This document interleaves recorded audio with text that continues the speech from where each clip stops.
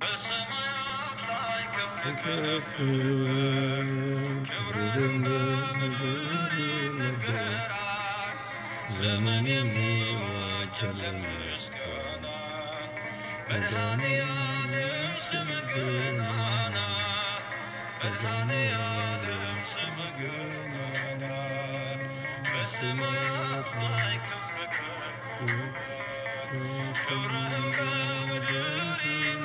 ይነገራል። ይኖር አንተ ነህ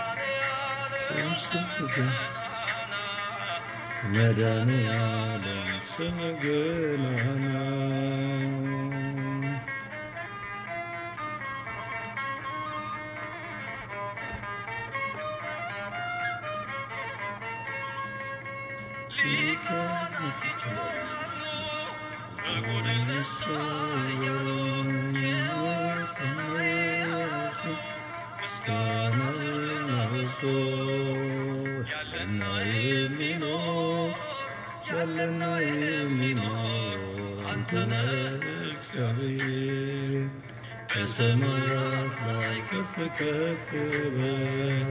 ክብርህም በምድር ይነገራል። ዘመን የሚወድ ያለ ምስጋና መድኃኔዓለም ስምህ ገናና መድኃኔዓለም ስምህ ገናና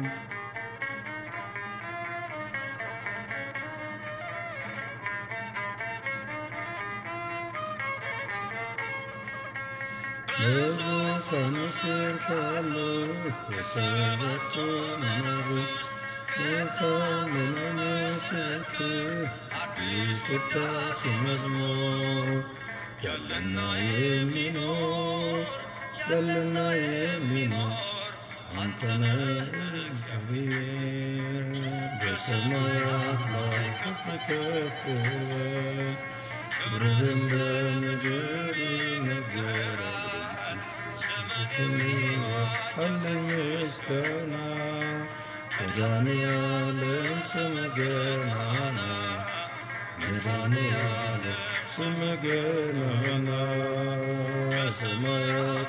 ከፍ ከፍ በል ክብርህም በምድር ይነገራል። አለ ምስጋና መድኃኔዓለም ስምህ ገናና መድኃኔዓለም ስምህ ገናና በሰማያት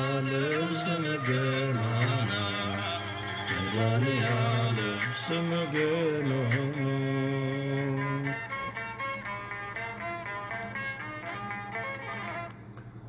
በስመ አብ ወወልድ ወመንፈስ ቅዱስ አሃዱ አምላክ አሜን። ይህ ድምፅ የሚሰማችሁ በመላው ዓለም የምትኖሩ የእግዚአብሔር ልጆች የእመቤታችን የወላዲት አምላክ የድንግል ማርያም ወዳጆች በያላችሁበት ሰላም እግዚአብሔር ከእኛም ከእናንተ ጋርም ይሁን። የእናታችን የእመቤታችን የወላዲት አምላክ የድንግል ማርያም ምልጃዋ፣ ጸጋዋ፣ ፍቅሯ፣ በረከቷ በሁላችንም ለዘላለም ጸንቶና አድሮ ይኑር። ዛሬ ዕለቱ ወራዊ የጻድቁ አባታችን የቅዱስ ዮሴፍ መታሰቢያ ቀን ነውና በሰማይ የሚኖር በጸጋ የሚጠብቀን አምላካችን እግዚአብሔር ከጻድቁ ከአባታችን ከቅዱስ ዮሴፍ የሚገኘውን ጸጋና ክብር ለሁላችንም በቸርነቱ ያድለን። የእናታችን የወላዲት አምላክ ምልጃና በረከት አይለየን። እግዚአብሔር ለሁላችንም ጸጋውን ጥበቡን ያብዛለን። እንግዲህ የእግዚአብሔር ልጆች ዛሬ የእግዚአብሔርን ቃል እንማራለን። እግዚአብሔር ያስተምረናል፣ እግዚአብሔር ይገስጸናል፣ እግዚአብሔር ይናገረናል። ወገኖች የእግዚአብሔር ልጆች አሁን ያላችሁ እኛ ድርሻችን እናንተን ማገልገል ነው። ይሄንን አዘጋጅተን ለእናንተ እናንተ እግዚአብሔርን ቃል እንድትሰሙ ማድረግ ነው። የእናንተ ድርሻ ደግሞ ይህንን መልእክት ለዓለም ሁሉ ማሰማት፣ ይህንን መልእክት ለዓለም ሁሉ ማስተላለፍ ነው። አሁን ያላችሁ መቶ ሰማንያ መቶ ዘጠና የምትሆኑ ሰዎች ትታዩኛላችሁ። የቀጥታውን ስርጭት በቀሲስ ብሩክ በየነ የፌስቡክ ገጽና በእኔም ደበበ እስጢፋኖስ በሚለው የፌስቡክ ገጽ ቀጥታ እያስተላለፍን ነው። ይህንን መልእክት በእግዚአብሔር ርኅራኄና ፍቅር አዛችኋለሁ። share አድርጉ። ለምን እኛ አንድ ሺህ ሆነን ተሰብስበን አንሰማ? ለምን እኛ ከፍ ብሎ ቁጥራችን ተሰብስበን በጋራ የተዋህዶውን ክብር ለምን አንገልጥም? የእግዚአብሔርን ቃል ለምን አናስተምርም? ይህንን ማድረግ የእናንተ ድርሻ ነው። እያንዳንዳችሁ ሰዎች ይህንን መልእክት share እንድታደርጉ በእግዚአብሔር ፍቅር አዛለው። በቀረው ነገር አጠገቤ የምታዩቸው ሊቀ ልሳናት ቀሲስ ብሩክ በየነ ይባላሉ። ወንጌላዊ በቤተ ክርስቲያናችን የሚቀድሱ የሚያወድሱ እግዚአብሔር ጸጋ የሰጣቸው አባት ናቸው። ይዘምራሉ። የዝማሬ ካሴቶች አላቸው። ትምህርተ ወንጌል ያስተምራሉ። ከእሳቸው ጋር ዛሬ በጋራ በመሆን የእግዚአብሔርን ቃል እንሰማለን፣ ትምህርተ ወንጌል እንማራለን።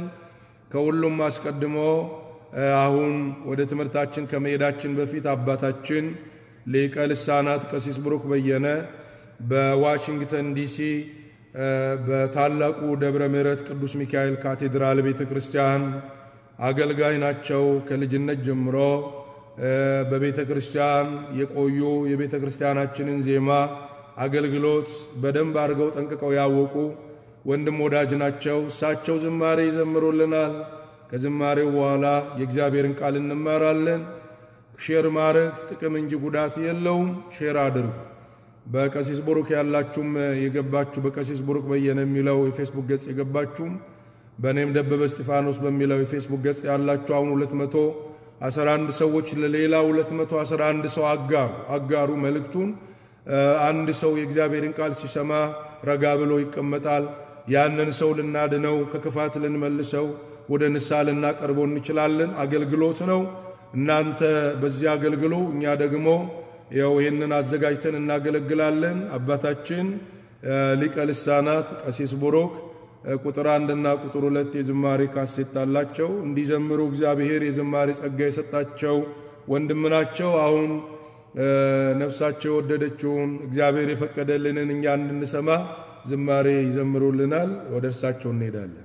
በስመ አብ ወወልድ ወመንፈስ ቅዱስ አሐዱ አምላክ ክርስቶስ ተንሥአ እሙታን በአብይ ኃይሎ ስልጣን አሰሮ ለሰይጣን አጋዞ ለአዳም ሰላም ሚዜሰ ኮነ። ፍስሐ ወሰላም በዚህ የድረገጽ ላይ የእግዚአብሔርን ቃል ለመስማት የታደማችሁ የእግዚአብሔር ወገኖች፣ የእግዚአብሔር ልጆች፣ አባቶች፣ እናቶች፣ ወንድሞች እና እህቶች በያላችሁበት የእግዚአብሔር አምላካችን ፍጹም ሰላም ከእናንተም ከእኛም ጋር ይሁን። ሀገራችንን ዓለሙን ሁሉ እያስጨነቀ ያለውን ክፉን ወረርሽኝ አምላካችን እግዚአብሔር በቸርነቱ ያርቅልን።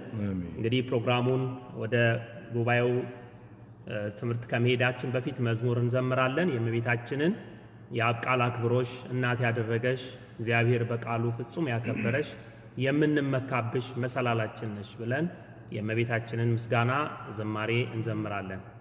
የአብ ቃል አክብሮሽ እናት ያደረገሽ እግዚአብሔር በቃሉ ፍጹም ያከበረሽ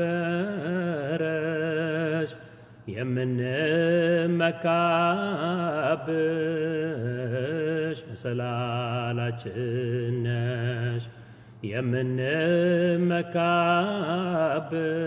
የምንመካብሽ መሰላላችን ነሽ። ቅድስና ላንቺ ጽድቅም ላንቺ ሆኖ ዓለም የፈጠረ ባንቺ ተወስኖ የገነት ፍሬ ነሽ ሕይወት ያፈራሽ። አንቺን ለመረጠ አንቺን ላነጻሽ ምስጋና ይድረሰው ለቸሯ አምላክሽ። ምስጋና ይድረሰው ለቸሯ አምላክሽ። የአብ ቃል አክብሮሽ እናት ያደረገሽ። እግዚአብሔር በቃሉ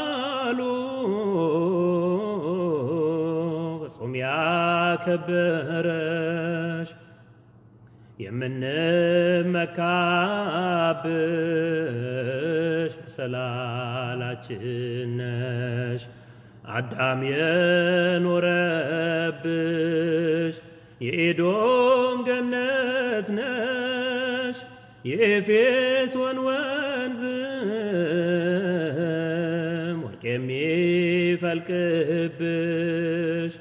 የግዮን ማዕበል ኢትዮጵያን የከበብሽ ዮርዳኖስ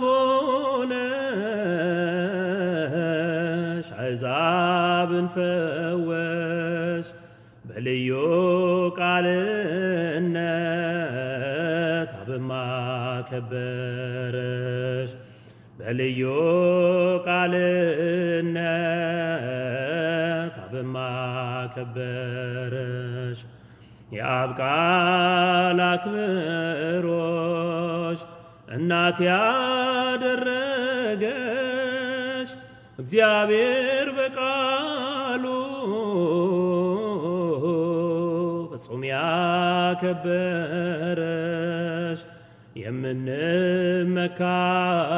የምንመካብሽ መሰላላችን ነሽ። ጻዳሽን ወዶ ወልድ ዋህድ ዋጀሽ አብን በሰማያት በሊና ጻፈሽ። መንፈስ ቅዱስ መጥቶ አንቺን አከበረሽ። እመካብሻለው እመቤቴ ስልሽ እመካብሻለው እመቤቴ ስልሽ የአብ ቃል አክብሮሽ እናት ያደረገሽ እግዚአብሔር በቃሉ ፍጹም ያከበረሽ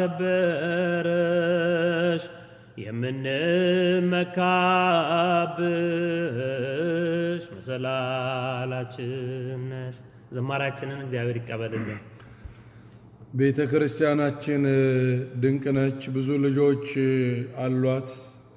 እግዚአብሔር ጸጋውን አብዝቶ እግዚአብሔር በደንብ አድርገው ቤተ ክርስቲያናችንን የሚያገለግሉበት ረዥም ዕድሜ እንዲሰጣቸው ፈቃዱ ይሁንልን። የእመቤታችንን ዝማሬ ዘምረናል። የወላዲት አምላክ የድንግል ማርያም ጸጋዋ ምልጃዋና በረከቷ ከሁላችን ጋር ይሁን። አሁን ያላችሁ ብዙ ሰዎች አላችሁ። እባካችሁ ለሌላ ብዙ ሰዎች መልእክቱን አጋሩ። ይሄ አገልግሎት ነው። መልእክቱን share አድርጉ። 300 ሰዎች አላችሁ። ለሌላ 300 ሰዎች መልእክቱን አጋሩ። ሊቀ ልሳናት አንድ በጣም የምወዳት መዝሙር አለች። የእመቤታችን እርሶ የሚዘምሯት። የመጀመሪያውን ስንኝ ብቻ ቢዘምሩልኝ። ያቺ ቅድም ፈልገናት የነበረች ማርያም ድንግል የምትል በጣም በጣም በጣም በጣም የምወዳት መዝሙር አለችና የእመቤታችን ዝማሬ ነች። ከተቻለ አንዷን ስንኝ ብቻ እሷን ዝማሬ እንሰማና እናንተ share እንድታደርጉ በትህትና እየጠየቅኩኝ ሌላ ለሌላ 321 ሰዎች አጋሩ። መልእክቱን ያቺን ዝማሬ ሁላችንም እንስማና በጣም ነፍሴ ትወዳታለች። የእመቤታችን የወላዲት አምላክ የድንግል ማርያም ዝማሬ ነው። እሷን መዝሙር እንስማና ወደ ትምህርታችን እንገባለን። ይቀጥሉ። ማርያም ድንግል ጸልይ ጸልይ ጸልይ ድንግል ለመላው ዓለም። ማርያም ድንግል ጸልይ ጸልይ ጸልይ ድንግል ለመላው ዓለም። እንዲያገኝ ሰላም እንዲያገኝ ሰላም እንዲያገኝ ሰላም እንዲያገኝ ሰላም። ጸልይ ድንግል ማርያም ለመላው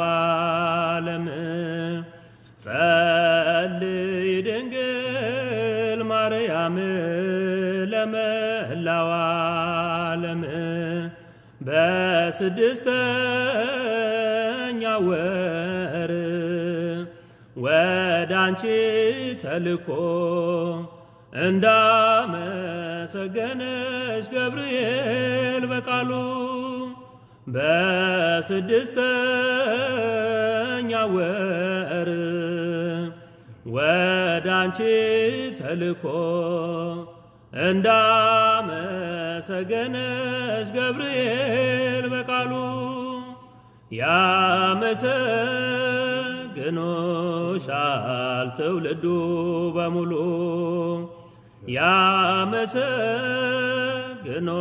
ያመሰግኖሻል ትውልዱ በሙሉ።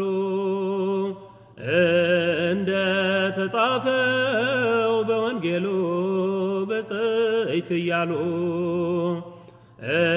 እንደ ተጻፈው በወንጌሉ በጽይት እያሉ ማርያም ድንግል ጸልይ ጸልይ ጸልይ ድንግል ለመላው ዓለም ማርያም ድንግል ጸልይ ጸልይ ጸልይ ድንግል ለመላው ዓለም እንዲያገኝ ሰላም እንዲያገኝ ሰላም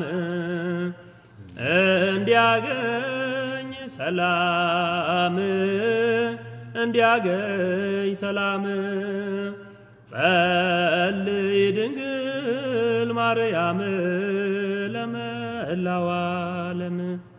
አይ ግሩም እግዚአብሔር ድንቅ ነው። እግዚአብሔር አምላካችን ስሙ የተመሰገነ ይሁን። እመቤታችን ትጸልይልን። በእውነት ሁል ጊዜ ሊቀ ልሳናትን ሳስብ በአጋጣሚ ሆኖ እዚህ ሀገር ገና የመጀመሪያ የመጣሁበት የእንግድነት ማግስት ላይ ይህንን ዝማሬ ሲዘምሩ ሰምቼ በጣም እስከ ዛሬ ድረስ አስታውሰዋለሁና ይህንን የላመና የጣመ ደስ የሚል የተዋበ የቤተ ክርስቲያናችን ለዛ የቤተ ክርስቲያናችን ዜማ ያለበትን ሊቀ ልሳናት ዝማሬ አሰምተውልን አሰምተውናል። እኛም በዘመርነው ዝማሬ እንድንባረክ እመቤታችንም ስለ እኛ በእግዚአብሔር ፊት እንድትጸልይ እንድታማልደን የአምላካችን እግዚአብሔር ፈቃዱ ይሆንልን። ሊቀ ልሳናት በዕድሜ በጸጋ እግዚአብሔር ይጠብቅልን። ታዲያ እግዚአብሔር ቢረዳንና ቢያግዘን ዛሬ የምንማርበት የትምህርታችን ርዕስ ታላቅ እምነት የሚል ይሆናል። በዚህ ርዕስ ላይ እንድንነጋገርና እንድንማር እግዚአብሔር ፈቅዶና ወዶ በዝማሬ ያገለገሉን የእግዚአብሔርንም ቃል በጋራ እየተወያየን የሚያስተምሩን አባታችን ሊቀ ልሳናት ቀሲስ ቡሩክ አጠገቤ አሉ። ሁሌም እንደምንለው እግዚአብሔር እንደሚያስተምረን ሰባኪ ማለት ድምፅ ማጉያ ነው። ባለ ድምፁ እግዚአብሔር ነው። ትንሹ ብላቴና ሳሙኤል በልጅነት ወራት በሕፃንነት ዕድሜ እናትና አባቱ ወደ እግዚአብሔር መቅደስ ወደ ድንኳኑ ከላኩት በኋላ በድንኳን ውስጥ ይኖር ነበር። በዘመኑ የነበረው ካህን ኤሊ ነው። አፍኒንና ፊናስ የሚባሉ ደግሞ ሁለት ልጆች ነበሩትና በቤተ መቅደስ በድንኳን ውስጥ እያለ ትንሹ ብላቴና ሳሙኤል አፍኒንና ፊናስ በሱ ወደ መቅደስ መምጣትና በማገልገል በእርሱ እግዚአብሔር በሚሰጠው ጸጋ ደስተኞች አልነበር እና በፊት ለፊትና በጓዳ ሰው እያያቸውና ሰው ሳያቸው ይገፈታትሩት ነበር። የእግዚአብሔር ቃል ወይም ራእይ ብርቅ በሆነበት ዘመን ማለት ሰዎች በቅድስናቸው ከእግዚአብሔር ጋር መገናኘት ባልቻሉ ሰዓት ለእግዚአብሔር ለሳሙኤል ግን የእግዚአብሔር ቃል ተገለጠልን። ከዛ እግዚአብሔር መጣና ሳሙኤል ሳሙኤል ብሎ ጠራው። ሲጠራው ራሱን የቻለ ሰፊ አውድ ነው፣ አንድ ነገር ለማምጣት ነው። ሲጠራው ሳሙኤል ወደ ካህኑ ይሄድና አባቴ አንተ ጠራኸኝ ይለዋል። አልጠራውም፣ ሂድ ተመልሰተኛ ይለዋል ደጋግሞ ከዛ ሶስተኛ ላይ የሚጠራው እግዚአብሔር እንደሆነ ሰማና ባሪያ ይሰማል፣ ጌታ ሆይ ተናገራል። እኛ የእግዚአብሔር ባሪያዎችን የእግዚአብሔር አገልጋዮችን እኛ ባሪያዎቹ የእግዚአብሔርን ቃል እንሰማለን። እግዚአብሔር ይናገራል። ያኔ ሳሙኤል ከፍቶት እያለ የኤሊ ልጆች አፍኒንና ፊናስ ሲገፉት ሲወረውሩት በልጅነት ወራት በሕፃንነት ዕድሜ በቤተ መቅደስ እያለ ሳሙኤልን ያረጋጋ ያጽናና በእርሱ ላይ ሥራ እንደሚሠራ እንደሚያበረታው ተስፋ የሰጠው እግዚአብሔር እኛንም ዛሬ በእምነት ታላቅ እምነት ኖሮን እርሱን አምነ ነው ከዓለም መከራ ካለንበት ችግር ከጭንቅ እንድንወጣ ተስፋ የሚሰጠን እንድናምነው እመኑኝ ብሎ ለእኛ ያስተማረን የሚናገረን እግዚአብሔር አለ። ስለዚህ መምህራን፣ ሰባኪያን፣ ዘማሪያን ድምፅ ማጉያ ወይም ድምፁን የሚያስተላልፉ ናቸው። ባለ ድምፁ እግዚአብሔር ነው። ባለ ድምፁ እግዚአብሔር ሳሙኤልን እንዳሳረፈው አልዓዛርን ከመቃብር እንዳወጣው እኛንም ካለንበት መጥፎ ነገር ወደ በጎ፣ ከሞት ወደ ሕይወት፣ ከመቃብር ወደ ሰገነት፣ ካለማመን ወደ ታላቅ እምነት እንድንወጣ እንዲያስተምረን ፈቃዱ ይሁንልን። አሁንም የምላችሁ ያላችሁ ሰዎች ለሌሎች እህት ወንድሞቻችሁ share እያረጋችሁ መልእክቱን እያካፈላችሁ እንሄዳለን።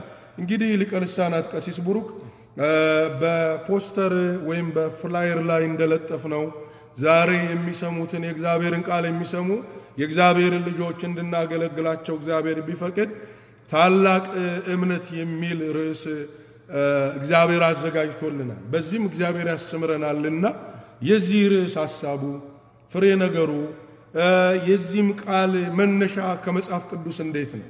እስቲ ለሁላችንም ይህንን ትምህርት እንማራለን። እግዚአብሔር ያስተምረናል። አባታችን ይናገራሉ። መልእክቱን እባካችሁ አሁን ያላችሁ 370 80 ሰዎች ለሌላ 300 ምናምን ሰዎች share አድርጉ፣ አዳርሱ። የእግዚአብሔር ቃል ነው፣ አካፍሉ። ወደ አባታችን እንሄዳለን። እሺ ለመምህራችን ለመላከ ጽዮን መምህር ደበበ እስጢፋኖስ ቃለ ሕይወት ያሰማልን።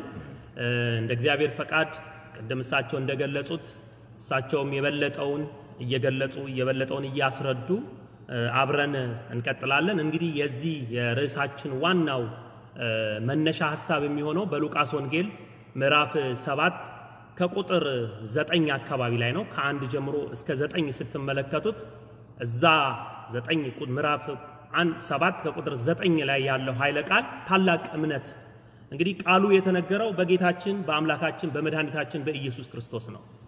ቃሉን የተናገረው አምላካችን ነው። ቃሉ የተነገረለት ሰው ደግሞ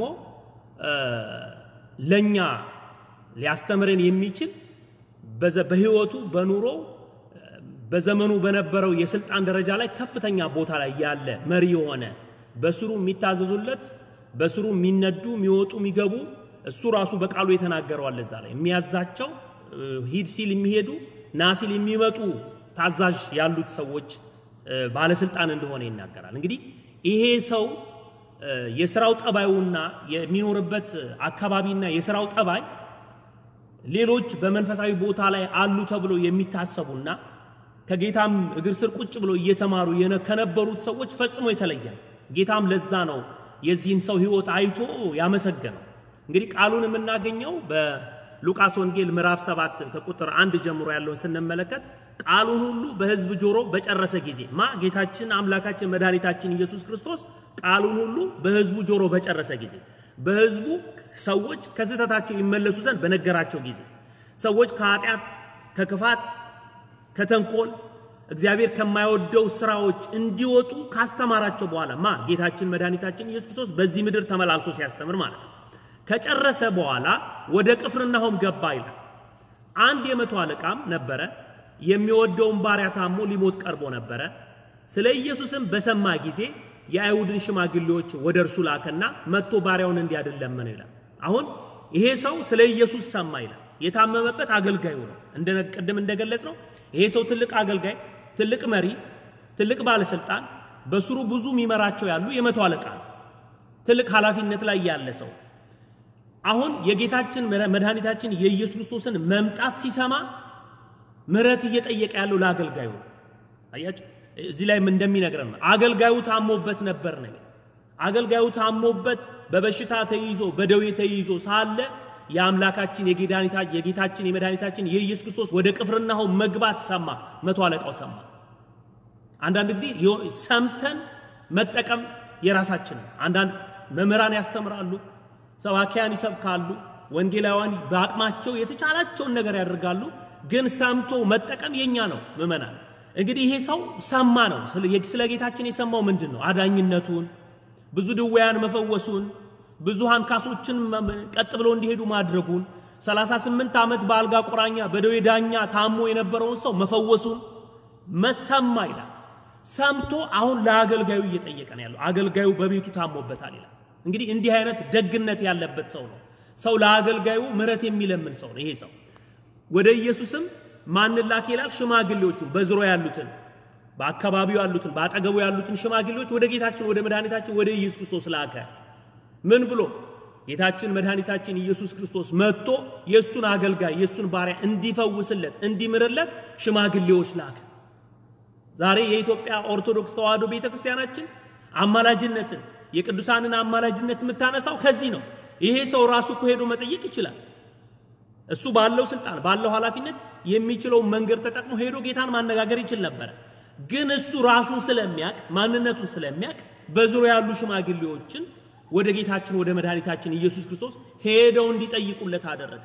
እኛም ዛሬ ጻድቁ አባታችን አቡነ ገብረ መንፈስ ቅዱስ፣ ጻድቁ አባታችን አቡነ ተክለ ሃይማኖት፣ ቅዱሳን መላእክት፣ ወላዲተ አምላክ ድንግል ማርያም አንቺ በልጅሽ በጌታችን በመድኃኒታችን በኢየሱስ ክርስቶስ ፊት አማልጂን የምንለው እኮ ከዚህ ተነስተን ይሄ ሰው በመቶ አለቃ ማዕረግ ያለ በስልጣን ደረጃ ላይ ከፍ ብሎ የሚታይ ሰው የሚያስተምረን ይሄ ነው። እሱ መሄድ አልቻለም። እሱ አይደለም እየሄድ ያለው በዙሪያ ያሉትን ላኬ ነው። እንግዲህ ይሄ ሰው ስንመለከት የመጀመሪያ ህይወቱ እየለመነ ያለው ዛሬ ሰዎች ለማን ነው እየጠየቅን ያለ ነው? እውነት ለአገልጋዮቻችን የሚራራ ልብ አለን ወይ? ሰዎች ለአገልጋዮቻቸው በቤታቸው ለሚያስተዳድሯቸው ወይም በቤታቸው ለሚሰሩላቸው ሰዎች እውነተኛ ልብ አላቸው ወይ? ንጹህ ልብ አላቸው ወይ? የሚራራ ልብ አላቸው ወይ? አሁን በቃሉ የምንማረው ይሄንን ነው። እያንዳንዳችን በስራችን ያሉትን ሰዎች እንዴት ነው የምናያቸው? እንዴት ነው እንደ ሰውስ እንቆጥራለን ወይ? እግዚአብሔር ምክንያት አድርጎ በእኛ ስር ሰዎች እንዲመሩ ስናደርግ እኮ በኃላፊነት ላይ ስንቀመጥ እኮ ከታች ስላሉት ሰዎች አንጨነቅ። ብዙ ጊዜ በዓለሙ ላይ ያለው ይሄ ነው። ይሄ መቶ አለቃ የሚያስተምረን ስልጣኑን በአግባቡ የሚጠቀም መቶ አለቃ ነው። ያለውን ኃላፊነት ያለውን ስልጣን ከዛም አልፎ ተርፎ ለአገልጋዩ በቤቱ ላለው ለምስኪኑ፣ ለድሃው በቤቱ ለሱ ቤት ለሚሰራው ሰራተኛ ሲታመምበት ለልጁ አይደለም የሚለው መጽሐፍ ለወለደው ልጅ ቢያደርግ ስጋው ነው ከአብራኮ የተገኘ ነው ብለን እንላለን። ግን ለአገልጋዩ የሚራራ ልብ ሁላችንም እንዲህ አይነት ልብ እንዲኖረን እግዚአብሔር ይርዳል። በእውነት በስራችን ያሉትን እድል ቀንቶን እኛ ከፍ ያለ ነገር ኖሮን በቤታችን በሰራተኛ ቀጥረን የምናስተዳድር ሰዎች እንዲህ አይነት ልብ ሊኖረን ያስፈልጋል። የእግዚአብሔር ሰዎች ለልጆቻችን የምናደርገውን ለሌሎች ለወገኖቻችን ማድረግ ያስፈልጋል። እኛ ላይ ሊደረግ የማያስፈልገውን ነገር የማንወደውን ነገር ሌሎች ላይ ለማድረግ እጃችንን ማንሳት አይገባም።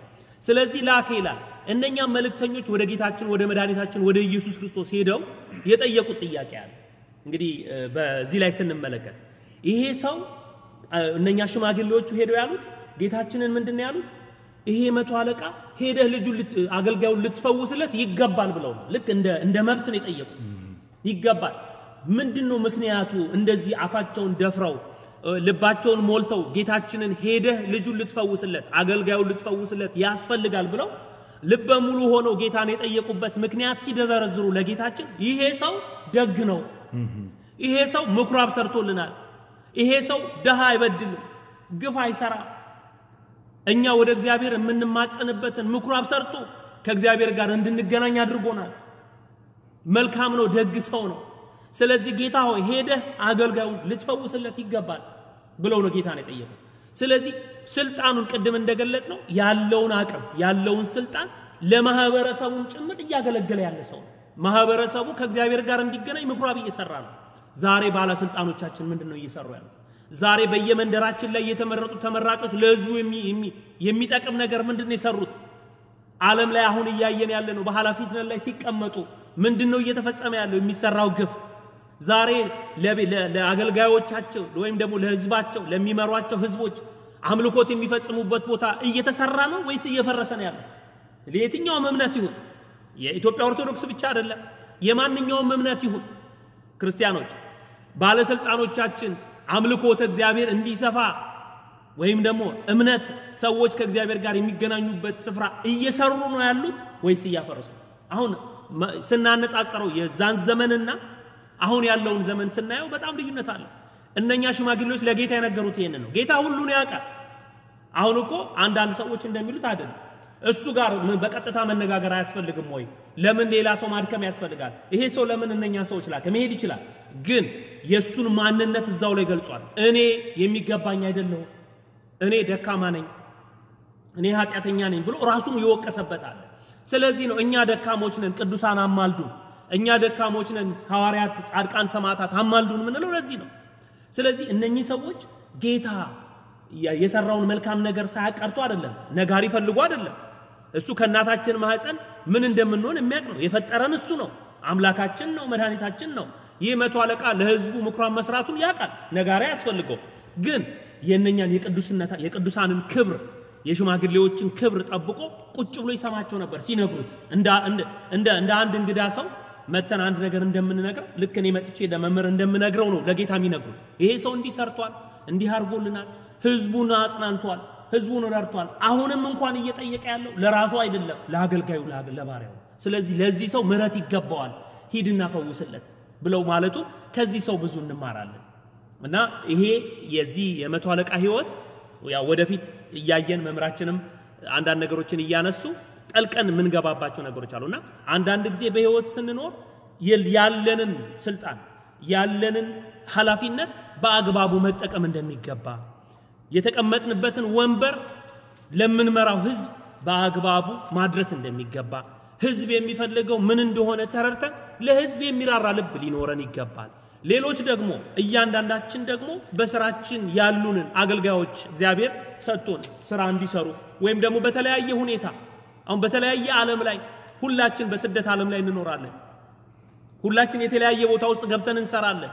በእንደዚህ አይነት ስራ ሲሰራ ዓለም እያደረገ ያለው ምንድን? እውነት ለሚሰሩላቸው ለሚያገለግሉላቸው ቀና ልብ አላቸው? በየቦታው ብዙ ግፍ እየተሰራ አይደለም? በየቦታው አገልጋዮቻቸውን የማይገባ ነገር እያደረጉ አይደለም? ይሄ ቃል የሚያስተምረን ወዳጆቼ፣ ሁላችንም እግዚአብሔር እድል ሰጥቶን ይሄንን የምናደርግ ሰዎች ከዚህ ስራችን እንድንወጣ ነው ይሄ ቃል የሚያስተምረን። መምህራችን በዚህ ላይ እንደወርሶም ሊቀ ልሳናት እግዚአብሔር ይስጥልን። እንግዲህ በመጽሐፍ እንዳየነው እግዚአብሔር እንዳስተማረን ይህ ሰው በመከራ የሚኖር ቤቱ ላይ የጎደለ ነገር ስለነበረ እንዲሞላለት፣ ቤቱ ላይ የቆሸሸ ነገር ስለነበረ ንጹሕ እንዲሆንለት፣ ቤቱ ላይ የታመመ ሰው ስለነበረ እንዲድንለት ፈልጎ የዓለም መድኃኒት ከሦስቱ አካላት አንዱ አካላዊ ቃል የማርያም ልጅ የእግዚአብሔር ልጅ መድኃኔ ዓለም ኢየሱስ ክርስቶስ ሕሙማነ ሥጋን በታምራት ሕሙማነ ነፍስን በትምህርቱ ይፈውስ ነበረ። እግዚአብሔርን ደግሞ የምናገኘው ሁሌ እንደምንለው በእምነታችን ልክ ነው። በገንዘባችን ልክ አይደለም። በወርቃችን ልክ አይደለም። በስልጣናችን ልክ አይደለም። በብራችን ልክ ነው እግዚአብሔርን የምናገኝ። እግዚአብሔር ብራብ ያበላኛል፣ ብጠማ ያጠጣኛል፣ ተራራውን ይደለድልልኛል። እግዚአብሔር ቤቴ ውስጥ ያለውን የጎደለ ነገር ይሞላልኛል ብሎ በልቡ አምኖ በቃሉ ተናግሮ አምላካችን መድኃኒታችን ኢየሱስ ክርስቶስን ወደ ቤቱ መጥቶ እንደ እምነቱ እንዲደረግለት የአይሁድን ሽማግሌዎች ላከ እነዚህ የአይሁድ ሽማግሌዎች የሚባሉ በጌታችን በአምላካችን በመድኃኒታችን በኢየሱስ ክርስቶስና በዛ ሰው መካከል መሰላል አስታራቂዎች ናቸው።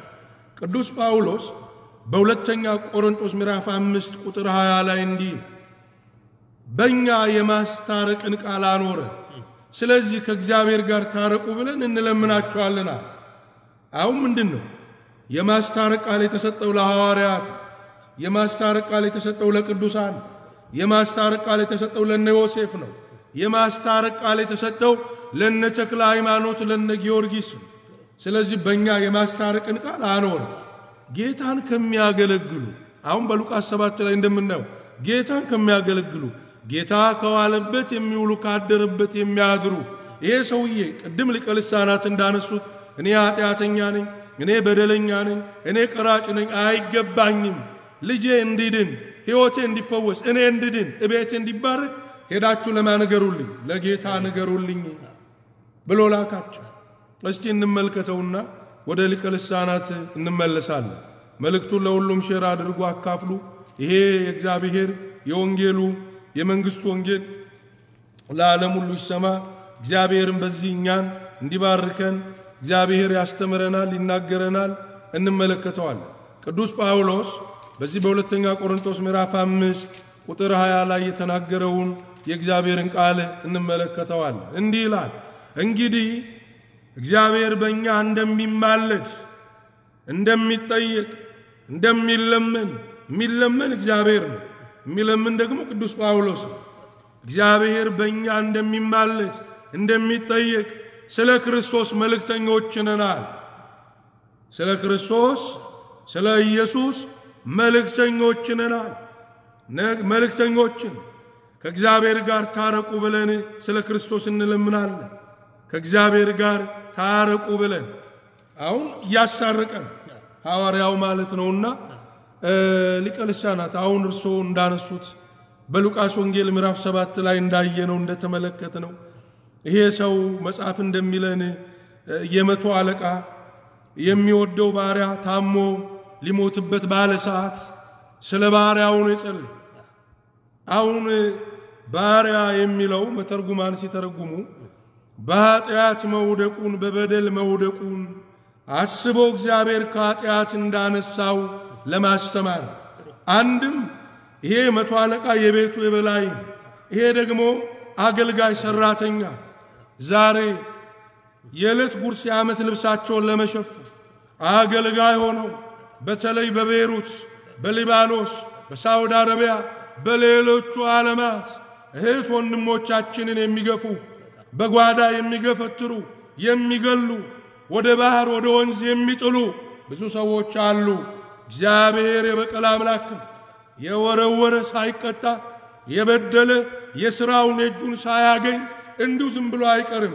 ነገር ግን እንዳ ወገኖች አለቆቻችሁ፣ አሰሪዎቻችሁ ከእናንተ በላይ ያሉ በእናንተ ላይ ኃያላን ቢሆኑ የኃያላን ኃያል የፈጠራችሁ እግዚአብሔር አለ። በእናንተ ላይ አሸናፊ መስለው ቢታዩ የአሸናፊዎች ሁሉ አሸናፊ ለድሃ ልጆች የሚሟገት ለድሆች የሚፈርድላቸው እግዚአብሔር አለ።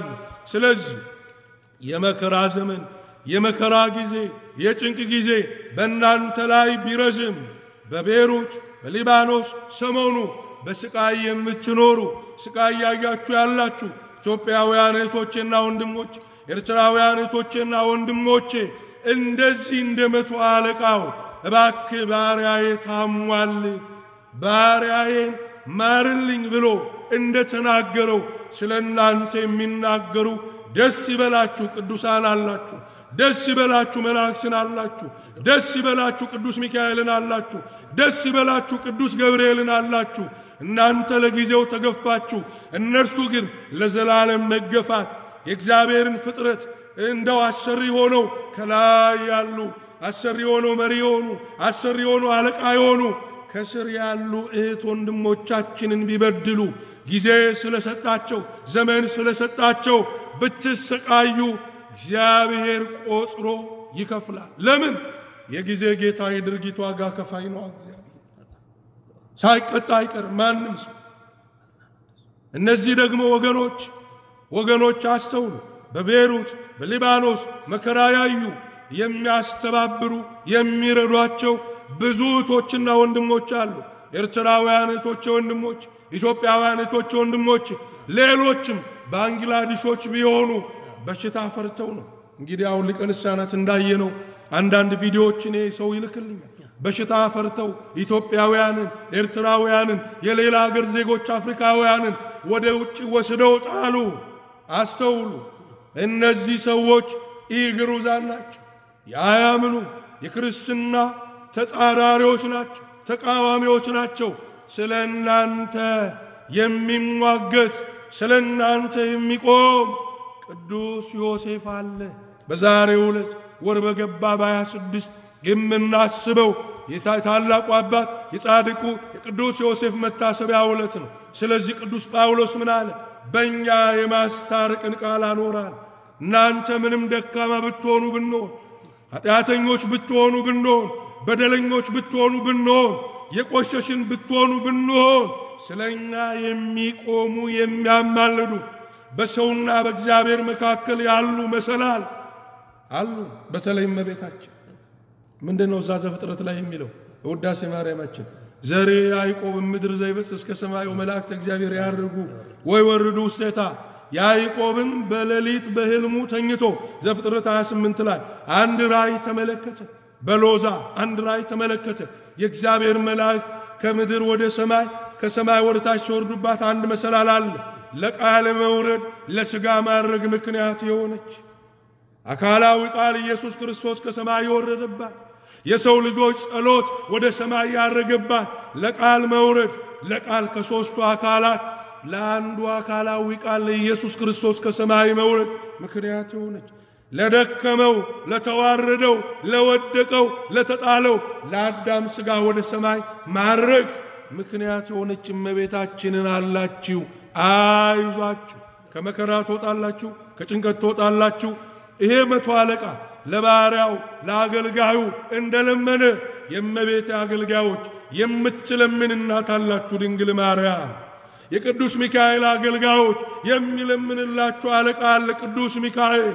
የተክለ ሃይማኖት አገልጋዮች የሚያማልዳችሁ የሚያስታርቃችሁ ተክለ ሃይማኖት አለ። ስለዚህ ምን ብሎ አለ? ማርልኝ አለ።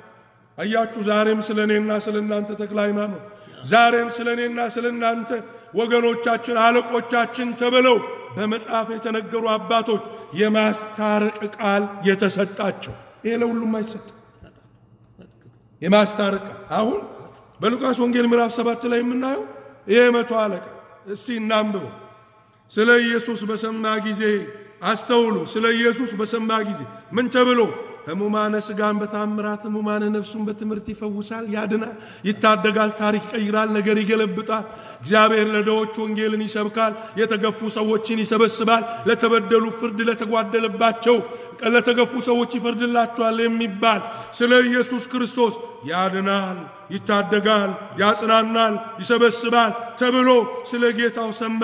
አሁንም እግዚአብሔር ያድናል። የእግዚአብሔር እጅ ከማዳን አላጠረችም። ወገኖች የእግዚአብሔር እጅ ከመታደግ አላቆመችም አላቆመችም፣ ስራዋን ትሰራለች። ብቻ እኛ እንደዚህ ሰው ታላቅ እምነት ሊኖረን ይገባል። ወደ ኢየሱስ ኢየሱስ ያድናል ሲባል ሰማ፣ ከእርሱ ጋርም ሄደ። አሁንም ወደ ቤቱ በቀረበ ጊዜ መቶ አለቃው ወዳጆቹን ወደ እርሱ ላከ። አለው ጌታ ሆይ በቤቴ ጣራ በታች ልትገባ አይገባኝም። ስለ ጌታ ነው የሚናገረው። ሰዎቹን ላክ። የታመመ ባሪያ አለ የወደቀ ባሪያ አለ፣ ያዘነ ባሪያ አለ፣ ያለቀሰ ባሪያ አለ። ልጄን ማርልኝ።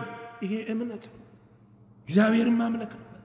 እና ሊቀ ልሳናት አሁን እርሶ አንስተው ይሄ ባሪያ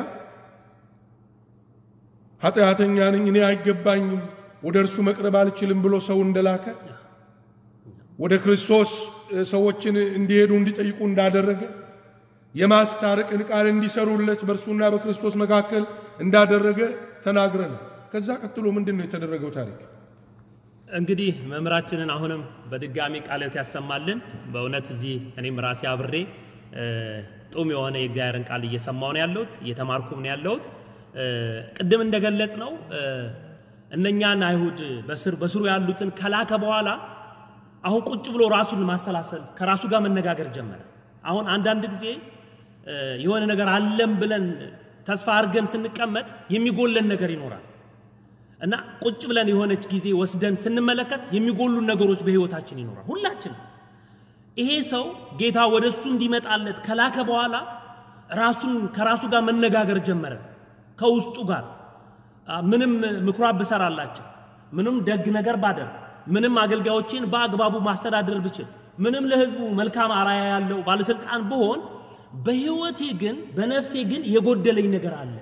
ይሄ ንጹሐ ባህሪ የሆነ አምላካችን መድኃኒታችን ኢየሱስ ክርስቶስ ቅድም መምህራችን እንደገለጹት ከድንግል ማርያም የተወለደው ንጹሕ ወደ እኔ ቤት ሊገባ አይገባም፣ ወደ እኔ ቤት- ጣሪያ ሊገባ አይገባም አለና ከራሱ ጋር ተነጋገረ። ራሱን ከመረመረ በኋላ ራሱን ካየ በኋላ ሌሎች ሽማግሌዎችን እንደገና ነው የላከው። ሁለተኛ መልእክተኛ ነው እዚሁ ላይ እንደሚገልጸው ራሱን ካየ በኋላ ወደ ጌታ መንገድ ጀምሯል። ወደ እሱ ጋር መምጣት ጀምሯል። ከነ የነኛን የመጀመሪያዎቹን ሽማግሌዎችን ድምፅ ሰምቶ ጌታ ወደዚህ ወደ መቶ አለቃ ቤት አቤት አምላካችን ርኅራኄው የአምላካችን ትትና ይገርመኛል። ለራሴ ይገርመኛል። አሁን ብዙ ጌታችን መድኃኒታችን ኢየሱስ ክርስቶስ በዚህ ምድር ተመላልሶ ያደረገውን ትትናውን አባቶቻችን ሲያስተምሩ ሰምተናል። ሁላችንም ለምሳሌ ጸሎተ ሐሙስ ጎንበስ ብሎ የደቀ መዛሙርቱን እግር ማጠቡ የእሱን ትትና ያሳየናል። እ፣ እስቲ እ፣ እሷን ዜማ ያዚሙልን እስቲ እ፣ ቤተ ክርስቲያን ሐዋርያት የወከበ በእግር አርዳዩ አጸበ። አሁን ትትናውን ስንናገር እ፣ ቅድስት ቤተ ክርስቲያናችን ኦርቶዶክሳዊት ተዋሕዶ ስንዱ እመቤት ነች። ኢየሱስን ዝም ብሎ በአማርኛ ብቻ አይደለም፣ በተዋበ በመላእክት ዜማ በምልክት ነው የምታዜመው። እስቲ እሷን ያዝሙልንና ወደ ትምህርቱ ይሄዱ። ሐዋርያትዮ ከበበ እግረ አርዳኢሁ አጸበ ኮኖም ዋብ ወእመ ወመሃሮሙ ጥበበ ሃሌሉያ እያለ ይላል። ጌታ መድኃኔ ዓለም ኢየሱስ ክርስቶስ ሐዋርያቱን ቁጭ ብሎ ያጠበበት ያ ትሕትናው ሁልጊዜ የሚነገር ዝቅ ብሎ በዛች ከፍ ወዳለ ቦታ ላይ መወለድ ሲችል በቤተልሔም ዋሻ በግርግም ረዳት ሳይኖራት ወላዲተ አምላክ ብቻዋን ከዮሴፍ ጋር በመላእክት ታጅባ በእንስሳት እስትንፋስ ት- ትሕትናውን ለማሳየት ነው። አሁን ደግሞ እዚህ ጋር ብዙ ያደረጋቸው የትሕትና ስራዎች አሉ። ጌታችን መድኃኒታችን ብዙ መዘርዘር ይቻላል። እዚህ ጋር አሁን የምንመለከተው እነኛ ይሄ መቶ አለቃ ልኳቸው ሄደው የነገሩት አይሁድ ሲነግሩት እሽ እኔ ጌታ ነኝ፣ እኔ አምላክ ነኝ። ሰው እኮ በሽተኛ ወደ ባለ መድኃኒት ነው የሚሄደው። የታመመ ስንታመም ወደ ሆስፒታል እኮ ነው የምንሄደው። ወደ ሐኪሞቻችን ጋር ቀጠሮ ይዘን እኛ የምንሄደው። ዶክተሮቻችንን ወደ ቤታችን ነው አንልም አይደለ እንዴ? በዓለም እንኳን ስንኖር ሁላችንም ክርስቲያኖች የጌታን ፍቅሩን ተመልከቱ።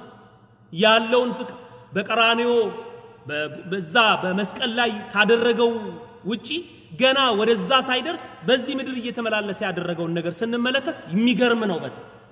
እነሱ ወደ እሱ ሄደው መፈወስ ሲችሉ እሱ እነኛ ሽማግሌዎች ሲነግሩት ተከትሏቸው ከእነሱ ጋር መሄዱ አይገርምም? ትሕትናው እኛ እግዚአብሔርን ከጠራ ነው፣ እኛ አምላካችንን ከጠራ ነው፣ ቅዱሳንን ይዘን አማላጆቻችንን ይዘን ወደ ጌታ ወደ እግዚአብሔር ከቀረብን እሱ ወደ እኛ እንደሚመጣ ልናምን ይገባል። እሱ ወደ እነሱ መጣ። ቀጥ ብሎ ወደ ወደዛ ወደ መቶ አለቃው ቤት ወደ ባሪያው ወደ ታመመበት ቤት የሽማ ሆይ ይበቃኛል፣ እኔ ማንነቴን አየው። ሽማግሌዎቹን ከላኳቸው በኋላ ቁጭ ብዬ ከራሴ ጋር ስነጋገር ውስጤ የጎደለኝ ነገር አለ። በነፍሴ የወደቅኩበት የደከምኩበት ነገር አለ። በስጋ የሚታየው ማንነቴ ነው የገዘፈው እንጂ ነፍሴ ጎሏታል፣ ጉድለት አለባት። ስለዚህ እኔ ጌታዬ፣ አምላኬ፣ መድኃኒቴ ንጹሑ ወደ እኔ ቤት ሊገባ አይገባም፣ ከቤቴ በጣት ታሪያ ሊገባ አይገባምና እዛ ሆኖ ቃል ይናገር ብሎ እንደገና ሽማግሌዎች ላከ። ጌታ እነኛ ሽማግሌዎች ሄደው ነገሩት። ጌታ ሆይ አንተ ቃልህን ብቻ ብትናገር ልጄ ይፈወሳል ብሏል። ማንነቴን አልተቆጣጠሩ ራሴ ሰውነቴን አልተቆጣጠርኩትም ነው ሰውነቴን አልተቆጣጠርኩትም የጎደለኝ ነገር አለ ብሏል። ስለዚህ አንተ ቃል ብቻ ተናገር ልጄ ይፈወሳል፣ አገልጋይ ይፈወሳል ብሏል ብለው ሲሉት ጌታችን መድኃኒታችን ዞር አለ። ይከተሉት የነበረ ብዙ ህዝብ ነበረ። ብዙ ህዝብ ይከተለው ነበር አምላካችንን።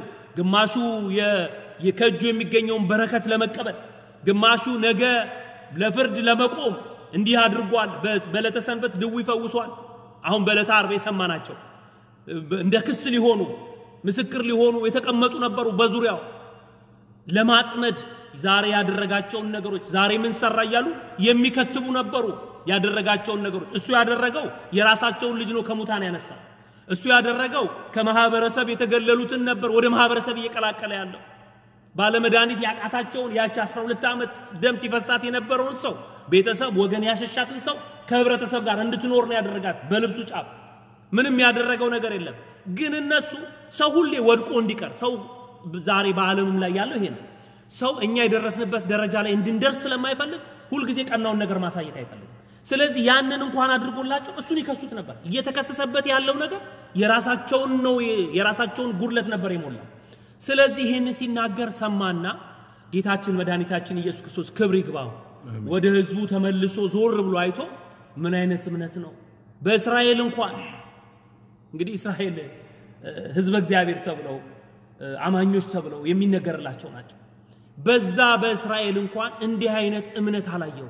በዚህ በቅፍርናሆም በዚህ በመቶ አለቃ ልብ ውስጥ ያለውን እምነት በእስራኤል እንኳን በወገኖች እንኳን እንዲህ አይነት እምነት አላገኘውም ብሎ ቃሉን ባለው መሰረት ልጁ እንዲፈወስ አድርጎለታል። እና በዚህ ሰው ህይወት ውስጥ የምናየው እንዲህ አይነት የአምላካችን ትትናውን የምናያለን። የዚህም ሰው ማንነትን ማወቅ፣ ራስን መረዳት፣ ራስን መመርመር፣ ሁልጊዜ እኔ በቅቻለሁ፣ እኔ ንጹህ ነኝ ሳይሆን ሁልጊዜ ወደ እግዚአብሔር እኔ ደካማ ነኝ፣ እኔ ኃጢአተኛ ነኝ እያልን ወደ እርሱ መቅረብ እንደሚገባን እሱ ኃጢአተኛ ነን ብሎ እንደማይንቀን ይሄ ሰው ኃጢአተኛ ነኝ፣ ሰውነቴ ቆሽሿል፣ አንተ ወደ እኔ ቤት ልትገባ አይገባህም ብሎት እኮ ገልጾለት ማንነቱን ነግሮት እኮ አይ እንደዛ ከሆነማ ይህንን ነገር ሳታስተካከል አልመጣም አላለውም አምላካችን። እንደዚህ አይነት አምላክ የለንም በእውነቱ ሁልጊዜ ድምፅ የእኛን- የእኛን ጭንቀት ለመካፈል የእኛን ችግር ለመቅረፍ የታመነ አምላክ ነው። የቅዱሳንን ልመና የአማላ- የአባቶቻችንን የሐዋርያትን የጻድቃን የሰማዕታትን ልመና የመላእክቱን ልመና ሰምቶ ምሕረት የሚያደርግ ነው። ለዘጸዋ ስመኪ ወለዘገብረ ተስካረኪ እምህር ለኪ ለእመቤታችን የገባለት ቃል ኪዳን ስምሽን የጠራ ተስካርሽን ያደረገ በስሜ ቀዝቃዛ ውሃ የሰጠ እ? ተጠማው ብሎ ላለ ቀዝቃዛ ውሃ ለሰጠ በዛ በቀዝቃዛ ውሃ ምሕረት አድርግለታለሁ ብሎ ቃል ኪዳን የገባ ስለሆነ የአባቶቻችን የቅዱሳንን ልመና ሰምቶ?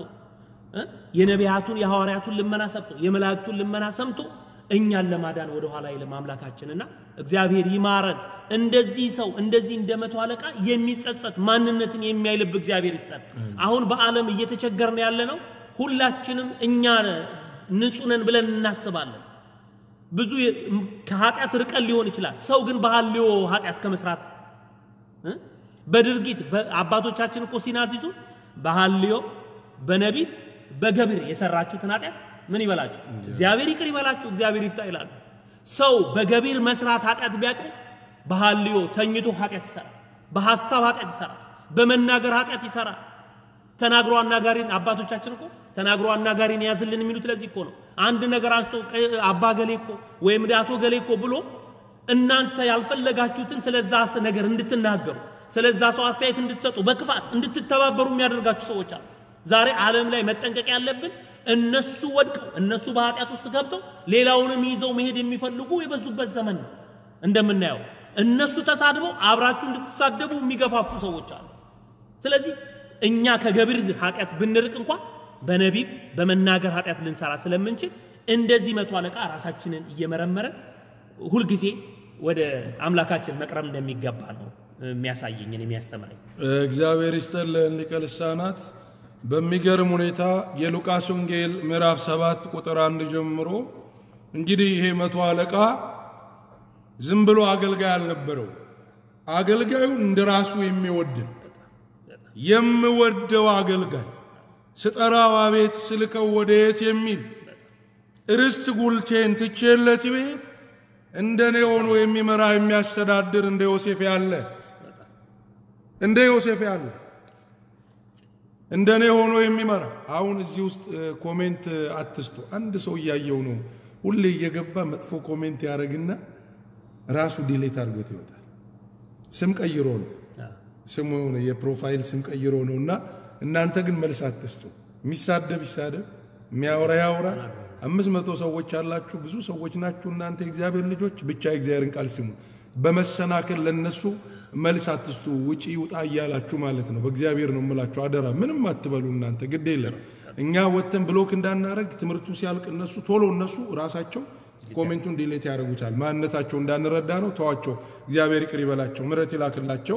ይሄ እነዚህ የተዋህዶ ክብሯ ሲነገር፣ የድንግል ማርያም ክብሯ ሲናገር፣ የቅዱሳኑ ክብረ ሲናገር፣ አሁን የምንሰማው የአማላጅነት ክብራቸው የቅዱሳን ሲነገር የሚያማቸው የአማንያን ናቸው። እግዚአብሔር ልብ ሰጥቶ ወደ ሃይማኖት ወደ ቀና ይመልስልን አሜን። እና መዋደድ እንደሚገባ አሁን እዚህ ላይ እናያለን። ሰው በምድር ላይ ያለውን ወንድሙን ካልወደደ ምን ይለናል? መጽሐፍ ቅዱስ ምን ይለናል? ወንድሙን የሚጠላ ነብሰ ገዳይ ነው ወንድሞቻችንን በመጥላት እኛ ሰሪ ስንሆን ሰራተኞቻችንን በመጥላት እኛ ገዢዎች ስንሆን ተገዢዎቻችንን በመጥላት እኛ መሪዎች ስንሆን ተመሪዎቻችንን በመጥላት ስንት ሰው ስንት ቤተሰብ ስንት ኑሮ ገደልን። እግዚአብሔር ያውቃል። ሕሊናን የሚመረምር ኩላሊት ያጤሰውን ልብ ያመላለሰውን የሚያውቅ በሰማይ በዙፋኑ ሆኖ ምድርን ትክ ብሎ የሚመለከታት የራሳችንን ጠጉር ቆጥሮ የለካ እግዚአብሔር አለ።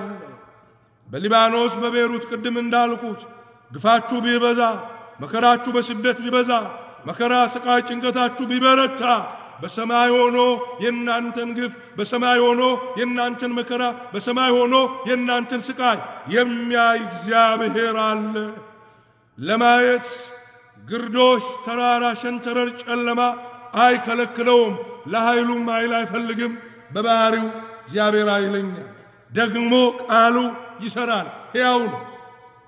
ይህንን ቃል አጋንንት ሰምተው መቆም አይችሉም አይችሉም።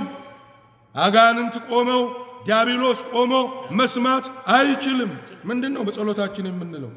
እ አትብ ገጽ የወኩለንታ በትምህርተ መስቀል በስመ ሥላሴ ይትቀጥቀጥ ዲያብሎስ ጻው መናፍስተ ርኩሳን በስሙ በአብ በወልድ በመንፈስ ቅዱስ ላይ ላይ እምዝንቱ መካን በአብና በወልድ በመንፈስ ቅዱስ ስም እኔ ካለሁበትና ከአካባቢ አጋንንት ሁሉ ምን በል ራቅ። ደግሞ ስንጸልይ ምን እንላለን? በጌታዬ በኢየሱስ ክርስቶስ ትምህርተ መስቀል ፊቴንና መላ ሰውነቴን አማትባለሁ። በስመ አብ ወወልድ ወመንፈስ ቅዱስ አሐዱ አምላክ እግዚአብሔርን ስለማመን አንድ አምላክ በሚሆን በአብ በወልድ በመንፈስ ቅዱስ ስም አምኜ ጠላቴ ሰይጣንን እክደዋለሁ። የወደቀ ነው ሰይጣን፣ የተጣለ ነው ሰይጣን፣ የተዋረደ ነው ሰይጣን። ኃይል የለው። ምንድን ነው የምንለው? ክርስቶስ ተንሥአ እሙታን። እስቲ ያዚሙልኝ አንዴ መተርጎም እንዲመች። አዎ ቅዳሴ ክርስቶስ ተንሥአ እሙታን ሞተ ወኬዶ ለእለ ውስተ መቃብር ወሃበ ሕይወተ ዘለዓለም ዕረፍት ክርስቶስ በታላቅ ኃይልና ሥልጣን ከሙታን መካከል ተነሳ። ለሞት ሞትን ከፈለ፣ ለመቃብር በር አበጀ። የሞት መድኃኒት ሆነ። ሞት ተሻረ።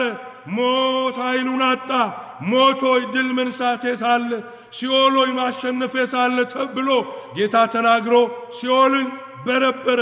ክርስቶስ ተንሥአ እሙታን በአብይ ኃይሎ ሥልጣን አሰሮ ለሴጣን አጋዞ ለአዳም ሰላም የሚይዘሰ ኮነ ፍስሐ ወሰላም ዲያብሎስን አሰረው። የታሰረው ዲያብሎስ በእኛ ላይ ሥልጣን የለውም። በስመ አብ ወወልድ ወመንፈስ ቅዱስ አሐዱ አምላክ የምትለው በእምነት ይበቃዋል። በእምነት የድንግልን ስም መጥራት ይበቃዋል። በእምነት አንገታችሁ ላይ ያለው ማተብ ይበቃዋል። በእምነት ወንጌሉ ይበቃዋል።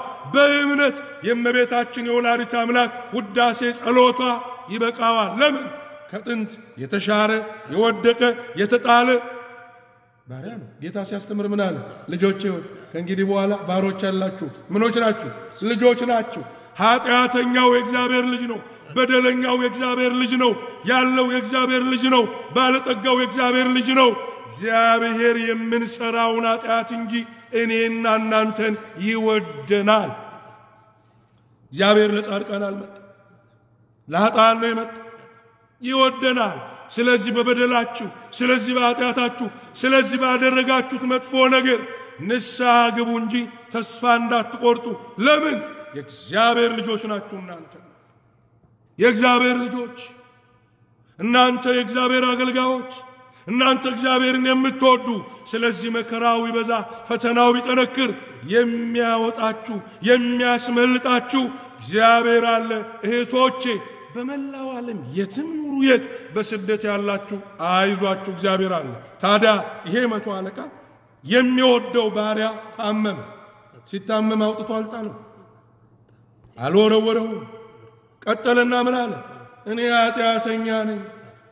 ሊቀ ልሳናት እንዳሉት የጎደለኝ ነገር አለ። ጌታ ሆይ እኔ የሚያገለግሉኝ የሚታዘዙልኝ፣ የተኛውን የሚፈልጡልኝ፣ የቆመውን የሚቆርጡልኝ ብዙ አገልጋዮች አሉ። አንተ አትድከም፣ እነሱን እልካቸዋለሁ። ቀጠለና ምን አለ? ከቤቴ ጠፈር በታች ትገባ ዘንድ ምን አይለኝም፣ አይገባኝም፣ ኃጢአተኛ ነኝ። ምን አይነት ትትና ነው! ምን አይነት ቅድስና ነው! ቅዱሳን የራሳቸው ክብር ከሚገለጥ የወንድማቸው ይደበቃሉ። በቃ እኔ አይገባኝም፣ እኔ አልችልም እያሉ ጌታስ ቅድም ሊቀ ልሳናት እንዳሉ አይገባኝም ብሎ ተናገረ። በእምነት እንደማድንለት አመነ። በእውነት በእስራኤል ምድር እንደዚህ ያለ ታላቅ እምነት አላገኘውም አላገኘው። አይሁድ የተታለሉት ጌታ ከቤተ መንግሥት ይመጣል ሲሉ ከከብቶች በረት፣ ከባለጠጋ ሲሉ ከድሆች ልጅ ትንሽ ብላቴና ገሊላዊት ከድንግል ማርያም ተወለደ። አላወቁትም። ቢያውቁት ኖሮ የክብርን ጌታ ክርስቶስን ባልሰቀሉት ነበር። ስለዚህ ወገኖች በልብ የምናመልከው በቃል የምንመሰክርለት የማርያም ልጅ እግዚአብሔር ልጅ ወደ እኛ ወደ ቤታችን ሊገባ አይንቀንም። መቶ አለቃው ምንድን ያለው? ከቤቴ ልትገባ አይገባኝም፣ ኃጢአተኛ ነኝ፣ በደለኛ ነኝ። እዛ ሆነ ምን በል ቃል ተናገር። ግን ኃጢአተኛ እንደሆነ በደለኛ እንደሆነ እንደማይገባው ሰውየው እየተናገረ እያመነ ማን ነው ዛሬ ኃጢአተኛ ነኝ ብሎ የሚያምን? ራሱን አመጻድቆ የእግዚአብሔርን ቃል ሲናገር የእግዚአብሔር መንግሥት በእጁ መዳፍ መካከል ያለው እየመሰለ ሌላውን እያጸደቀ ሌላውን እየኮነነ በበደል የሚኖር ሁሉ ሁላችን ብንሆን ሁላችን። ይሄ ሰው ግን አመን ምን ብሎ ኃጢአተኛ ነኝ፣ በደለኛ ነኝ፣ ወደ ቤቴ ልትገባ አይገባኝም አለ። ጌታ ይህንን አውቆ ምን አለ? ራስህን በእግዚአብሔር ፊት አዋረድክ፣ በደለኛ መሆንን ለእኔ ገለጥ። ንስሐ ነው፣ መመለስ ነው፣ ይቅርታ ነው። በእውነት ራሱን ያላመጻደቀ በደሉን ያመነ ከእግዚአብሔር ምሕረት ያገኛል። ቀራንዮ ላይ የተከፈለውን ዋጋ አስቡ። መድማቱን፣ መሰቀሉን፣ መቸንከሩን ዋጋ አለው። ወገኖች እኛ የሠራነው በደል የሠራችሁት በደል ያጠፋነው ጥፋት ያጠፋችሁት በደል ንስሐ ስንገባ ንስሐ ኃጢአተኛው ጻድቅ ዘማው ድንግል የበደለውን እንዳልበደለ ታደርጋለች። ብቻ ተጸጸቱ፣ ንስሐ እንግባ፣ እንመለስ። እግዚአብሔር ይቅር ይለናል። በፍጹም ይቅር አልልህም አይልም። ሰው እንዳየ እግዚአብሔር አያይ። ሰው እንደለካ እግዚአብሔር አይለካ። ሰው እንደሰፈረ እግዚአብሔር አይሰፍርም። የሰው መንገድና እግዚአብሔር የተለያየ ነው። ታዲያ ጌታ ወደ ቤቱ ገባ። እግዚአብሔር ወደ ቤታችን ይግባ። ምሕረቱን ወደ ዓለማችን ይላክ። እግዚአብሔር ሲገባ ባዶ ይሞላል። የተቆረጠው ይቀጠላል። ጨለማው ይበራል። ሞት ወደ ሕይወት፣ በሽታ ወደ ጤንነት ይለወጣል። ከቤቴ ጠፈር ልትገባ እ አይገባኝም። ጌታ መሰከረ። በእስራኤል ምድር እኔን ከሚያምኑ እኔን ከሚከተሉ በእስራኤል ምድር ህብስት አበርክቻለሁ። ህብስት ከበሉ የተራቡ ጠግበዋል፣ የተጠሙ ጠጥተዋል። ወገኖቼ የታመሙ ተፈውሰዋል። በእስራኤል ምድር ከዳኑ ከተፈወሱ ከዳኑ ትልቅ ደረጃ ከደረሱ እንደዚህ ያለ እምነት ያለው ሰው አላገኘው። እንመነው። እግዚአብሔር ተራራውን ይደለድላል፣ ባዶውን ይሞላል፣ የተቆረጠውን ይቀጥላል። በወድቅ ጠላቴ ሆይ ደስ አይበል፣ ጠላቴ ዲያብሎስ ደስ አይበል፣ ጠላቴ ሰይጣን ደስ አይበል፣ የወደቅከው የተሻርከው ደስ አይበል። በወድቅ ያነሳኛል፣ ብሞት ሕይወት ይሰጠኛል። በባርነት ቤት በስደት ብኖር በአውሮፓ ሊሆን ይችላል፣ በአሜሪካ በአረብ ዓለማት በሩቅ ምስራቅ ሊሆን ይችላል። በሁሉም ቦታ እኔ በእኔ ላይ ያሉ መሪዎቼ፣ አለቆቼ፣ አስተዳዳሪዎቼ ቢሰለጥኑብኝ፣ ግፍ ቢያበሱብኝ፣ ግፍ ቢያበዙብኝ ጠላቴ ሆይ ደስ አይበል። ታላቅ እምነት አለኝ፣ እግዚአብሔር ያድነኛል። ታላቅ እምነት አለኝ፣ እግዚአብሔር ይታደገኛል። ታላቅ እምነት አለኝ፣ እግዚአብሔር ይፈውሰኛል ብሎ ይሄ መቶ አለቃ እግዚአብሔርን እንዳመነ ጌታ እንደመሰከረለት እንድናምን እግዚአብሔር ይርዳ። እንድናምን አምነን እንድንሞት አምነን እንድናሸንፍ አምነን ድል እንድናደርግ አምነን ወገኖቼ የተሰጠንን ከእግዚአብሔር የሆነ በረከት ዋጋ እንድናገኝ እግዚአብሔር ይርዳ። እንግዲህ ቅድም እንዳነሱት ሊቀ ልሳናት ቀሲስ ቡሩክ ወንድማችን እንዳነሱት ጌታ መቶ አለቃው ወደ ቤቴ ጠፈር ወይም ወደ እኔ ቤት ትገባ ዘንድ ልትገባ አይገባህም፣ አትድከም። ስለዚህ እኔ ወደ አንተ ልምጣ ወይም ደግሞ ሰራተኞች አሉኝ እነሱን ልላክ ብሎ ተናግሮ ነበር። ገብቶ ምን አደረገለት ጌታ ወደ ቤቱ? እንግዲህ ጌታችን መድኃኒታችን አሁን ቅድም መምህራችንም እንደገለጹት የእምነቱን ትልቅነት ከመሰከረለት በኋላ ተመልሰው ሲሄዱ ልጁ ተፈውሶ እንዳገኙት ነው የሚናገረው መጽሐፍ። ልጁ እንደተፈወሰ እምነት ካለን እምነታችን ፍጹም ከሆነ ጎደለ ያልነው መሙላት እንደሚችል ቅድም እንደነገሩ ጠመመ ያልነው ሊቀና እንደሚችል እንደዚህ የእምነት የእምነታችን ሁኔታ ነው ወሳኝነቱ ለሚደረግልን እግዚአብሔር ያደርጋል ብሎ ስላመነ እሱ እንደውም ገልጿል። እኔ በስሬ የሚታዘዙልኝ አሉ ሂድ ስለው የሚሄድ ና ስለው የሚመጣ እዚሁ ላይ እንደገለጸ ቃል ተናገር ብላቴና ይፈወሳል። እኔ ደግሞ ከሌሎች በታች የምገዛ ሰው ነኝ የምገዛ ሰው ነኝ፣ የማስተዳድር ሰው ነኝ። አሁን ራሱን እየነገረ ነው። እኔ የምገዛቸው የማስተዳድራቸው ከእኔም በታች ወታደሮች አሉኛል። አንዱንም ሂድ ብለው ይሄዳል፣ ሌላውንም ና ብለው ይመጣል። ባሪያዬን ይህን አድርግ ብለው ያደርጋል ያደርጋል። ኢየሱስም ሰምቶ ነው በእርሱ የተደነቀ ዘወርም ብሎ ለተከተሉት ሕዝብ እላችኋለሁ በእስራኤል እንኳን እንዲህ ያለ ትልቅ እምነት አላገኘውም አላቸው። የተላኩትም ወደ ቤት ተመልሰው ባሪያውን ባለጤና ሆኖ አገኙ። እንግዲህ በቃሉ ነው የፈወሰው። እሱ በነገረው መሰረት እሱ ምን አለ? እኔ እንኳን በስሬ አለ በማስተዳድረው፣ አንተማ የዓለማት ጌታ ዓለማትን የፈጠርክ በቃል መፍጠር የምትችል ብርሃን ይሁን ብርሃን ጨለማ ይሁን ጨለማ ማለት የምትችል ተነስ ብለ ማስነሳት የምትችል አራት ቀን የሞላውን አላዛርን ማስነሳት የምትችል አይደለህም አምላክ ፈጣሪ ዓለማት ኢየሱስ ክርስቶስ። እንኳን አንተ እኔ እንኳን እቺ ደካማ በአንተ እጅ የተፈጠርኩት ደካማው ሰው አዳማዊው ሰው የሚበድለው ሰው በስሬ የማዛቸው የማስተዳድራቸው አሉ። አንዱና ብለው ይመጣል ሌላውን ሂድ ብለው ይሄዳል። ስለዚህ አንተ ቃልህን ብትናገር ባሪያ ይፈወሳል ብሎ የእሱን እምነት ነው የተናገር እንግዲህ ስለ እምነት ስንነጋገር በጣም ሌሎች እንደዚህ በእምነት የጠነከሩትን ስንመለከት እነኛ ሶስቱ ወጣቶች አሁን ዓለም ፊታችን ላይ ብዙ ነገር ሊያነድ ይችላል። መከራው አሁን የበሽታው መከራ እንደ እቶን እሳት እየነደደ ነው ያለው፣ እያስጨነቀ ነው ያለው። ያ ናቡከደነጾር እኮ ያደረገው እነኛ ሶስቱን አናንያ፣ ሲድራቅ፣ ሚሳቅ፣ አብድናጎ ወይም አናንያ፣ አዛርያ፣ ሚሳኤል የተባሉትን እኮ በትንቢተ ዳንኤል ላይ ያሉት የተነገረላቸው ማለት ምዕራፍ ሶስት ላይ ያሉት እነኛ ሶስቱ ወጣቶች በእግዚአብሔር የሚያምኑ ምንድን ያሉ እሳቱን እያነደደ እነሱ የእሳቱን ወላፈን አይተው እሱ ለሚያመልከው ጣዖት እንዲሰግዱ ነበር ሐሳቡ። ዛሬ ዓለም በተለያየ ጭንቀት ውስጥ አስገብቶን በእነሱ የኃጢአት መስመር ውስጥ እንድንገባ ሊያደርገን ይችል ይሆናል። ከዛ ውስጥ ልንተባበር ልንሄድ አይገባም። ይሄ ይቆማል።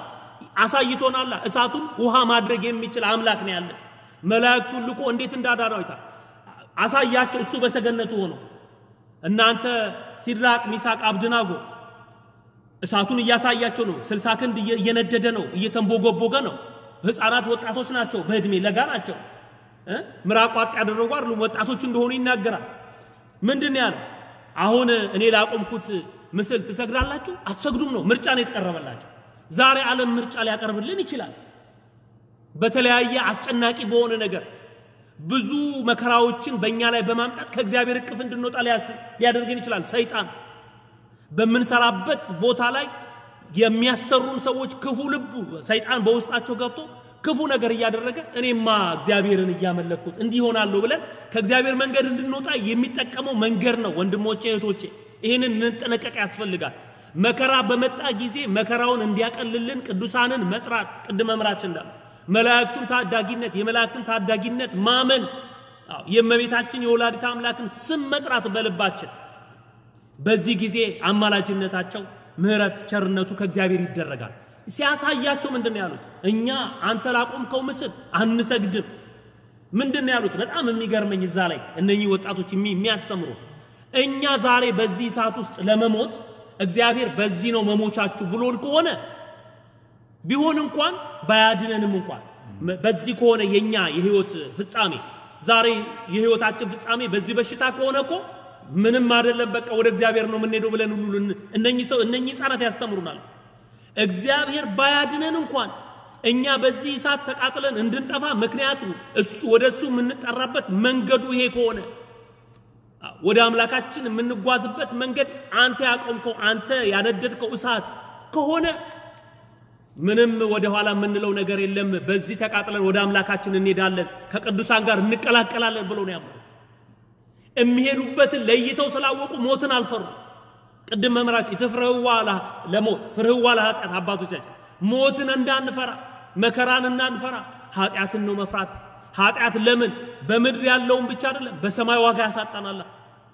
የምድሩን አይደለም። እዛ ላይ አላነበባችሁም? ያንን ነዌንና እኮ አላዛርን ማንሳት ይቻላል። ነዌ በምድር የተደላደለ ሰው ነው። አላዛር በመከራ ውስጥ ያለ ነው። ወገኖቼ በመከራ ውስጥ በችግር ውስጥ ሁን ብንሆን ይሄ ምድር ኃላፊ ነው። ይሄ ምድር ነገ ይጠቀለላል። ሁሉም ያልፍ ነው። የማያልፍ መንግስት አለ። እዛኛው መንግስት ሰማያዊው መንግስት ላይ እንዳንጠፋ እንዳንቃጠል መስራት ጠንክረን ማገልገል ያለብን በምድር የላይኛውን ማስተካከል አለ።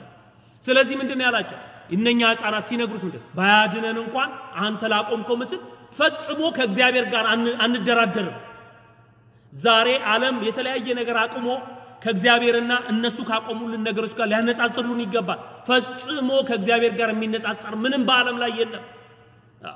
እሱ ያቆመው ጣዖት እግዚአብሔር ዓለምን የፈጠረውን እግዚአብሔር እንደሚበልጥ ስላመኑ ወደ እሳቱን የተጣሉት በሉ ተብለው ታስረው ነው። በእሳቱ እንኳን እንዳይወራጩ እጃቸው ወደ ኋላ የፊት ታስረው ወደ እሳቱ ተጣሉ።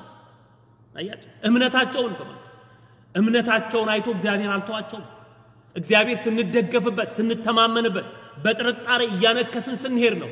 ጴጥሮስ እኮ በዛ በባህር ላይ ሲጓዝ እኮ እየሰመጠ የመጣው መጠራጠር ሲጀምር ወደ መሃል ሲደርስ ልምጣ አለው ና አለው እና ሲሉት መምጣት ነበረበት። በሙሉ ልብ መከተል ነበረበት፣ መሄድ ነበረበት። ግን መሃል ላይ መንገዱን እንደጀመረ ልቡ ማሰላሰል ጀመረ። እንዴ ብሰምጥስ ይሄ ነገር እኮ ከባድ ነው፣ በኋላ ወይ ዋና አልችልም። እንግዲህ በውስጡ የተመላለሰውን ነገር ማሰብ እንችላለን። አሁን ይሄንን ማሰቡን ሲያይ ነው መስመጥ የጀመረ። ወገኖቼ እግዚአብሔርን በፍጹም ልብ ልናምን ያስፈልጋል። እግዚአብሔር በፍጹም ልብ ካመንበት ቃሉ የማይታጠፍ ነው። ቅዱስ ገብርኤልን ላከለት ላከላቸው ለነዛ ህፃናት። እንዴ እኛ ሶስት ሰዎች አስረን ነበር የላክ ነው የከተት ነው ወደ እሳት ወራቡ ውስጥ ይመስል ገጸ ወልደ እግዚአብሔር የአራተኛው ልጅማ የእግዚአብሔር መልክማ የእግዚአብሔርን መልክ ይመስላል። አያቸው የቅዱሳን መልክ የእግዚአብሔር መልክ ነው። የመላእክት መልክ የእግዚአብሔር መልክ ነው። ይሄንን የተናገረው ያ የማያምነው ናቡከደነጾር ነው። ያ በእሳት ውስጥ በ- በ- በ- በ- በአምልኮተ ጣዖት ውስጥ የተያዘው ያ ልቡ የደነደነው ነው። በኋላ እግዚአብሔር መኖሩን እያወቀ ተመልከቱ። በምን አወቀ ታዲያ ማለት ይቻላል? እንዲህ ይህን እግዚአብሔርን መኖሩን እያወቀ ጣዖት እያመለከ በኋላ ግን የተናገረው ምንድን ነው?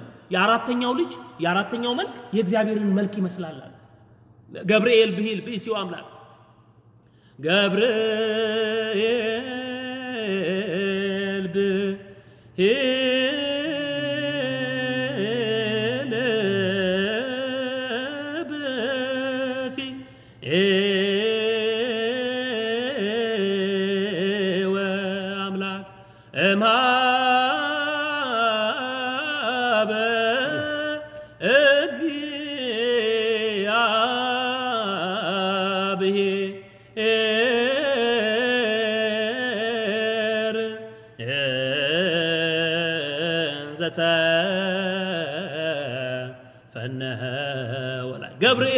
ብእሲው አምላክ ገብርኤል ማለት ሰውና አምላክ ነው። የአምላክን ሰው መሆን የገለጸ ነው። ያንን ይሄንን ቃል ይሄንን ሐዋርያት ቅዱሳን የተናገሩትን ቃል ገብርኤል ማለት ሰውና አምላክ ነው ብሎ የተናገሩትን ናቡከደነፆርን አናግሯል እግዚአብሔር። እሳት አንድዶ የእግዚአብሔርን ሰዎች ሊያጠፋ የተነሳውን ናቡከደነፆርን ይሄንን ቃል በልቡ ውስጥ እንዲናገር አድርጎታል። አያችሁ፣ አንዳንድ ጊዜ ኃይለኞች የነበሩትን እግዚአብሔር ማናገር ይችላል። እዛው በሰገነቱ ላይ ሆኖ ይቃጠሉ ያላቸውን እሳት አስነድዶ እጃቸውን አሳስሮ ወደ እሳት ከላከ በኋላ መልአኩን ልኮ እግዚአብሔር ሲያድናቸው እምነታቸው ሲሰራ አምላካቸው ሲታደጋቸው አመነና ምን አለ? የአራተኛው መልክማ የእግዚአብሔርን መልክ ይመስላል። ተመልከቱ። እግዚአብሔር እንዲህ ነው። እግዚአብሔርን በእምነት ከጠራ ነው አስጨናቂ ከሚባሉት መከራዎች ውስጥ ማውጣት ይችላል። የሚ በፍጹም ልንጠራጠር የማይገባ ነገር ነው። እግዚአብሔር አዳኝ ነው፣ ፈዋሽ ነው። ስለዚህ እምነታችን ነው ዋናው። ጠንክረን በእምነታችን እግዚአብሔር ምንድን ነው? ቅዳሴ ማርያም ደግሞ ነቢያት ንጹህ በመሆን የእግዚአብሔርን አይተውታል፣ ፊት ለፊትም ተያይተዋል አይደለም የሚለው ወተናጸሩ ገጽ በገጽ እኮ ነው የሚለው። በምን በእምነታቸው ነቢያት እግዚአብሔርን አይተውታል፣ ፊት ለፊትም ተያይተዋል ነው የሚለው ቅዳሴያችን ላይ። በምንድን ነው ያዩት? በእምነታቸው። ስለዚህ ሁላችንም እምነታችንን አጠንክረን ይዘን ብዙ መከራ በምድር ላይ ሊመጣ ይችላል። ብዙ በሕይወታችን ላይ ፈተናዎች ሊመጡ ይችላሉ። አስጨናቂ ነገሮች፣ በጣም ማናልፋቸው ብለን የምናስባቸው ነገሮች ሊኖሩ ይችላሉ። እግዚአብሔር ማሳለፍ ይችላል ብለን አምነን በቅዱሳን አማላጅነት ተማምነን ልንኖር ልንበረታ ያስፈልጋል። እግዚአብሔር ይስጥልን። ድንቅ ትምህርት እግዚአብሔር አስተምሮናል። ሊቀ ልሳናት እናመሰግናለን። ዝማሬ ይዘምሩልናል። አንድ የእግዚአብሔርን ሐሳብ እንመልከትና ዕብራውያን 11 እ፣ 29 ጀምሮ እስራኤል በመከራ ሰዓት በደረቅ ምድር እንደሚያልፍ በኤርትራ ባሕር በእምነት ተሻገሩ። የኤርትራ ባሕር የሚያስፈራ ነው፣ የሞላ ነው፣ ያሰጋል። እግዚአብሔር እንደ ሳር ክምር እንደ ግድግዳ አቁሞላቸው እስራኤል ዘሥጋ ያ አስፈሪ የነበረው ትልልቅ ዛፎችና ግንዶችን እያንከባለለ የሚወስደው ከድምፁ ማጓራትና ከመናገር የተነሳ ያ የሚያስደነግጠው የኤርትራ ባሕር እንደ ሳር ክምር እንደ ግድግዳ ቆሞላቸው በእምነት ተሻገሩ። እመኑ፣ ይህንን የመከራ ጊዜ በእምነት እንሻገረዋለን። እመኑ፣ ይህንን የበሽታ ጊዜ በእምነት እንሻገረዋለን። እህቶቼ በስደት የምትኖሩ በቤሩት፣ በሊባኖስ፣ በአረብ ዓለማት፣ በሩቅ ምስራቅ ያላችሁ እመኑ እግዚአብሔርን። በእምነት የገጠማችሁን ፈተና የደረሰባችሁን ችግር ትሻገራላችሁ። እስራኤል አለ ዕብራውያን 11 29 ላይ እስራኤል የኤርትራን ባህር በእምነት ተሻገሩ ይላል። ባህር በሽታ፣ ባህር ኃጢአት፣ ባህር በደል፣ ባህር ወገኖች አመፅ፣ ባህር ተንኮል ሊያጓራ በፊታችንም ሊሰለፍ ደግሞ ሊያልፍ ይችላል። እግዚአብሔር ግን ያሻግራል። ከዛ በኋላ እንዲህ ይላል በደረቅ እንደሚያልፍ በኤርትራ ባህር በእምነት ተሻገሩ። በግብፅ አስተ ግብፅ ሰዎች ግን ሲሞክሩ ተዋጡ። ግብፃውያን ሞክረው የኤርትራን ባህር ለመሻገር እስራኤልን ለመያዝ ይዘው ለማሰቃየት ይዘው ለመግደል እስራኤልን በሕይወት እንዳይኖር ለማድረግ ግብፃውያን ሞከሩ። ሲሞክሩ ግን ምን አሉ? ተዋጡ። ተዋጡ፣ አልቻሉም። ለዓለም ያልተቻለ ለእኛ ለእግዚአብሔር ይቻላል። በእምነት ለሰው ያልተቻለ ለእኛ ይቻላል። ለሰው የማይሆን ለእኛ ይሆናል። ከዛ በኋላ የኢያሪኮን ቅጥር ሰባት ጊዜ ከዞሩ በኋላ የኢያሪኮ ቅጥር አሁንም በእምነት ወደቀ።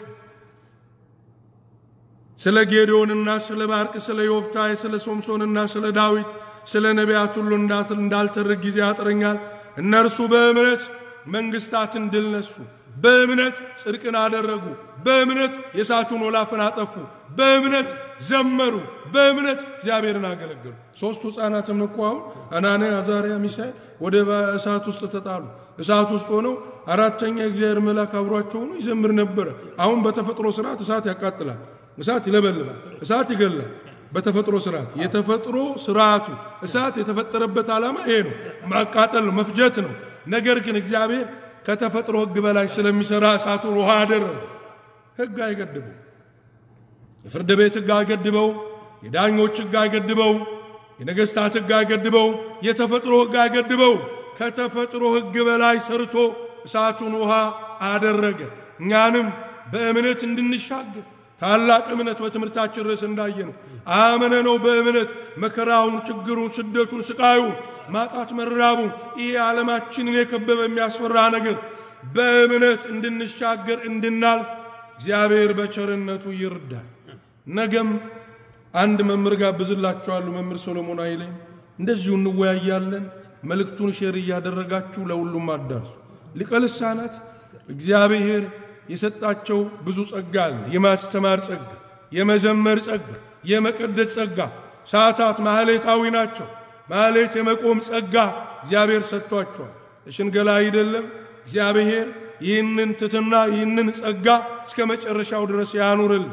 ታዲያ የእሳቸው የዩቲዩብ link አለ። እዚህ ላይ አንድ ጥያቄ ልጠይቅ ልጠይቁት መምህራን፣ ካህናት ዩቲዩቡን subscribe አድርጉ ብለን እንናገራለን። አንዳንዶች ለራሳቸው እንደተፈቀደ ለሌሎች እንደተከለከለ የሚያስቡ ጆሮ ጠግበው የአመፀኛ የተንኮለኛ የክፉ ሰዎችን ምክር እየሰሙ መምህር ደበበ ሊቀ ልሳነ ቀሲስ ቡሩክ ወይም ሌሎቹ ለምን subscribe ይላሉ ካህናት ብለው የሚናገሩ አሉ። ምንድን ነው እስቲ ዓላማው? ደግሞ ክፋቱስ ምንድን ነው? ሊቀ ልሳነ ከቤተ ክርስቲያን አስተምረው ከካህናት አገልግሎት አንጻር እርስዎ ቁጥር አንድና ቁጥር ሁለት መዝሙር አሉ። ምንድን ነው እስቲ እዚህ ላይ አስተያየት አጭር እኔ በዚህ ጉዳይ እንግዲህ እግዚአብሔር በተለያየ በአንድም በሌላ መንገድ ያስተምራል። የሰው ልጅ አያስተውልም ነው የተባለ። እግዚአብሔር ለማገልገል አሁን በተለይ በተለይ በተለይ አሁን ያለንበት ወቅት በዚህ በችግር ሰዓት ላይ ይሄ ነገር ባይኖር ምን ይኮን ነበር? እያንዳንዱ ሰው በጭንቀት ውስጥ እያንዳንዱ ሰው በመከራ ውስጥ ባለበት ሰዓት የእግዚአብሔርን ቃል በመናገር በመከራ ውስጥ የነበሩ እግዚአብሔር ደርሶ ያዳናቸውን ምስክርነት አባቶቻችን፣ ወንድሞቻችን፣ መምህራን፣ ሰባኪያን ይሄን ባይነግሩን ኖሮ ምን እንሆን ነበር? እግዚአብሔር በወቅቱና በጊዜው የፈጠረው ይህንን መንገድ ተጠቅሞ ማስተላለፍ ምንድን ነው ክፋቱ? ምንም እኔ ለእኔ ምንም ክፋትና ጉድለት የሚታይበት ነገር የለም። በዚህ ላይ ቅዳሴ እንቀድስ አልተባለም። በዚህ ላይ ሌላ አምልኮት ይፈጸም አልተ ወንጌል ዝማሬ ነው የሚተላለፈው። የቅዳሴ ስርዓት በቤተ መቅደስ ነው የሚከናወነው። በቤተ መቅደስ የሚከናወነውን ስርዓት ሰዎች ከቤታቸው ሆነው አሁን ለምሳሌ መውጣት አይቻልም። የደብረ ምሕረት ቅዱስ ሚካኤል ካቴድራል እንደምታውቀው በጣም በእያንዳንዱ ሰንበት ብዙ ሰው የሚያስቀድስበት ነው። የለም ያ ሰው ያንን ሰው በቤቱ ሆኖ የእግዚአብሔርን ቃል እንዲሰማ ማድረግ ክፋቱ አይታየኝም። ሰዎች ለሌላ ዓላማ እኮ ይህንን እየተጠቀሙበት ነው። የሌላ የተለያየ ዓላማ ማስፈጸሚያ የሆነ እኮ ነው። ቤተ ክርስቲያኒቷን የሚሸረሽሩ ነገሮች እኮ እየተሰራበት ነው ያለው። ስለዚህ ቤተ ክርስቲያኒቷን የሚታደግ ምዕመናንን የሚያስተምር ወንጌል የሚሰጥበት ሰዎች ደግሞ ይሄንን ነገር ላልሰሙ ሰዎች እንዲያዳርሱ ማድረግ ለእኔ በእውነቱ ምንም ክፋት አይታይም። እንዲህ አይነት ሀሳብ ይሄንን በመናገራቸው ሰዎች share አድርጉልን፣ subscribe አድርጉልን ማለታቸው ወንጌሉ እንዲሰፋ ነው። ወንጌልን አዳርሱ ነው። ሌላኛው ቋንቋ ሌላ ወንጌሉ ይዳረስ ነው። ላልሰሙ አሰሙ ነው። የሰማው ለሌላ አሰማ ነው። ይሄ አንዱ የቤተ ክርስቲያንን የምናስፋባበት መንገዱ አንዱ ይሄ ነው።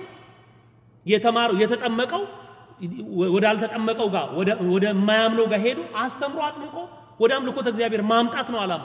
ለሌላ ዓላማ ካልዋለ እግዚአብሔር እንዲገለገልበት የእግዚአብሔር ቃል እንዲሰማበት መሆኑ ለእኔ በእውነቱ ክፋት አይታይም። እንደው የራስ እንደው የራስ ጠባይ ሆኖ ሁልጊዜ ሰዎችን በመንቀፍ ሁልጊዜ የሰዎችን ስራ ዝቅ በማድረግ የሰዎችን ሞራል በመንካት ከአገልግሎት ለማራቅ እኔ ብቻ ልታይ፣ እኔ ብቻ ነኝ አገልጋይ፣ እኔ ብቻ ነኝ ዘማሪ፣ እኔ ብቻ ነኝ ሰባኪ። ይሄ ደግሞ እግዚአብሔር አይወደው። አንደኛ በእንደዚህ አይነት ልብ ቆሞ የእግዚአብሔርን ቃል ማስተማር ራሱ እግዚአብሔርን መሸንገል ነው። እኔ በውስጤ እንዲህ አይነት ነገር ይዤ ወንድሜን ለመግፋት ወንድሜን ጋርጄ ከኔ የተሻለ መዘመር ከኔ የተሻለ መቀደስ የሚገባው ሰው መጥቶ እንዲታይልኝ እንዲሰማልኝ ያንን ሰው ሲሰማ ወይ እግዚአብሔር ጸጋው ለዚህ መምህር የሰጠው ወይ እግዚአብሔር ጸጋው ለዚህ ካህን የሰጠው ብለን የዛን ሰው ድምፅ ሰምተን የዛን ሰው እግዚአብሔር ያደረገለትን እግዚአብሔር በድምፅ ወይም ደግሞ በሌላ የሚመዘን ሆኖ አይደለም። በዛ ብቻ ነው የሚመለከውም እያልኩም አይደለም። ግን የእግዚአብሔርን ጸጋ ለአባቶቻችን የሰጠው አሁን በ- በ- በ- በ- በእያንዳንዱ ደብር ስትሄዱ ብዙ ጊዜ ልባችንን የሚገዙ ዘማሪያን ትሰማ የልባችንን በቃ ቅዳሴያቸውን ብንሰማ የማንጠግባቸው ለምሳሌ አሁን አቡነ ናትናኤልን አሁን በኢትዮጵያ እየሰማን ነው። በረከታቸው ይድረሰን። ምን ያህል ነው ሰው እየተደሰተ ያለው? እሳቸውን እንደውም አንድ ኢንተርቪያቸው ላይ የምንሰማው ዳግማዊ ያሬድ ነው ሰው እያለ እየተነጋገረ ነው። ያ- ይሄ ነገር እንዴት ነው ሲባሉ እኔ እንደው ያሬድ ራሱ ቢሰማ ይታዘበኛል። ራሱ ትዝብት ውስጥ ራሱ እንደዚህ ብሎ የሚናገሩ ሰዎች ትሕትናቸው አንድ ካህን ለአንድ ሊቀ ጳጳስ የሚገባ ሙያ ጥርት ያለ ሙያ አሳይተውናል። በማህሌቱ ላይ፣ በወንጌሉ ላይ፣ በእግዚአብሔር በሰጣቸው በተለያየ ቋንቋ እያስተማሩ ነው። ይገባኛል አሉ አባቶቻችን። እኚህን አባት ስንሰማ ማንን ነው የምናመሰግነው? እግዚአብሔርን ነው እንዴ። አባቶቻችንን ሊቃነ ጳጳሳቱን አባቶቻችን መምህራንን ባየን ቁጥር የተለያየ ጸጋቸውን ስናይ እግዚአብሔር የማያልቅበት ባለብዙ ጸጋ እንደሆነ ለአንዱ እንዲህ ማስተማር፣ ለአንደኛው እንደዚህ የመቀደስ፣ ለአንደኛው እንደዚህ የመዘመር፣ ለአንደኛው የማገልገል እንዲህ አይነት ጸጋ እግዚአብሔር መስጠቱን የምናይበት እንጂ መሆን ያለበት እኔ ብቻ ነኝ ዘማሪ፣ እኔ ብቻ ነኝ ቀዳሽ፣ ሌላ መቅደሱ ላይ ሰው ሲመጣ እጄን ዘግቼ መጋረጃ ዘግቼ ያ ሰው ድምፁ እንዳይሰማ ነገ ቦታ እንዳያገኝ ነገ የተሻለ ቦታ ላይ እኔ ያለሁበት ቦታ ላይ መጥቶ ትላንትና ብሩክ ብሩክ ሲባል የነበረ እገሌ እንዳይባል ያንን ሰው አላሳይም ካልኩኝ ከንቱ ድካም ለደሞዝ ለስራ ነው የምንቀሳቀሰው። ይሄ ደግሞ እግዚአብሔር አይከብርበትም። እግዚአብሔር ያኖራል። እግዚአብሔር ለሁሉ ለእኔ የሰረዘረውን እንጀራ ለመምህር የሰረዘረውን እንጀራ ሰዎች የፈለገ አመድ ቢደፉበት እግዚአብሔርን አጥፈው ወደ እነሱ አፍ ማድረግ አይችሉም። እግዚአብሔር ለእኔ የሰነዘራትን ማንም ጉልበተኛ ቢመጣ አይወስድም። ስለዚህ ይሄንን ማየት አይገባም። አባቶቻችን ብዙ ተነቅፈዋል፣ ብዙ ሲያገለግሉ ብዙ ተብለዋል። ይሄንን ሰምቶ ወደኋላ discourage ሆኖ ወደኋላ መሄድ አይገባም። ወደፊት ነው መሄድ የሚገባው እና ይሄ ለእኔ ብዙም የሚታየኝ ነገር የለም። ከእንደዚህ አይነት ነው መውጣት ያለብን። አምልኮተ እግዚአብሔር ሰዎች እንዲማሩ እየተደረገበት ያለው ነው ብዬ ማምነው እዚህ ላይ እኔ ምንም አልጨምርም። ድንቅ ነገር ተናግረዋል። የዩቲዩብ ቻናል አለ subscribe አድርጉ ብለን ብንናገር፣ ፌስቡክ ላይ ገብታችሁ ተማሩ ብለን ብንል፣ በዚህ ቃል አማካኝነት እግዚአብሔር እናንተን እንዲባርካችሁ ቤታችሁ ድረስ የእግዚአብሔር ቃል እንዲደርስ የአገልጋዮች የመምህራንና የኦርቶዶክሳዊ ተዋሕዶ ጥላቻ ያለባችሁ መጀመሪያ ለምን ገብታችሁ የእኛን ፌስቡክና ዩቱብ አያችሁ? አድርጉ ብሎ በግድ ያስገደዳችሁ ሰው የለም። አታድርጉ። ያ ጥላቻ ካለ አታ- አታድርጉ። ቃለ እግዚአብሔሩን ቤተ ክርስቲያኒቷን የማትወዱ ከሆነ በዛ ዩቱብ ላይ ገብቶ subscribe አታርጉ። የምትወዱ አይ እኔ የቀሲስ ብሩክን ዩቲዩብ subscribe ባርግ የመምህራኑን ዩቲዩብ subscribe አድርጌ ቤቴ መልእክቱ ቢመጣ ምን ይገኛል? subscribe በማድረግ እኛ እኮ እዚህ ሀገር ነው። የሰራን ነው የምንኖረው። እያንዳንዱ ሰው ትምህርት ይማራል። ቤተ ክርስቲያኒቷ ትልልቅ ኃላፊነት ሰጥታናለች።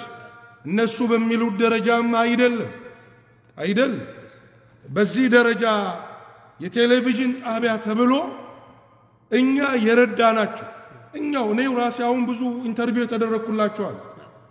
ሰው እያነሳሱ ስም መጥራት መምህር ደበበ ብሎ ስም መጥራት እስኪያቅታቸው ድረስ ሲናገሩ እንሰማለን። እንዳውም እያበረታችሁኝ ነው። እኔ በርቱ፣ እናንተ በርቱ፣ ቀጥሉ። እኔ ግን የእግዚአብሔርን ቃል መናገር ማስተማር ከእግዚአብሔር ስለተቀበልኩ የተሰጠኝን አደራ እየተናገርኩ ወደ መቃብር ወርዳለሁ። ሌላ ዓላማ የለውም። እናንተንም እግዚአብሔር ይቅር ይበላችሁ፣ ልብ ይስጣችሁ፣ ወደ በጎ እግዚአብሔር ይመልሳችሁ። የምታረጉትን ነገር ጥሩ ነገር አይደል። በዓለም ያሉ ዘፈን መስፈን ኃጢአት ነው። አዎ ኃጢአት ነው።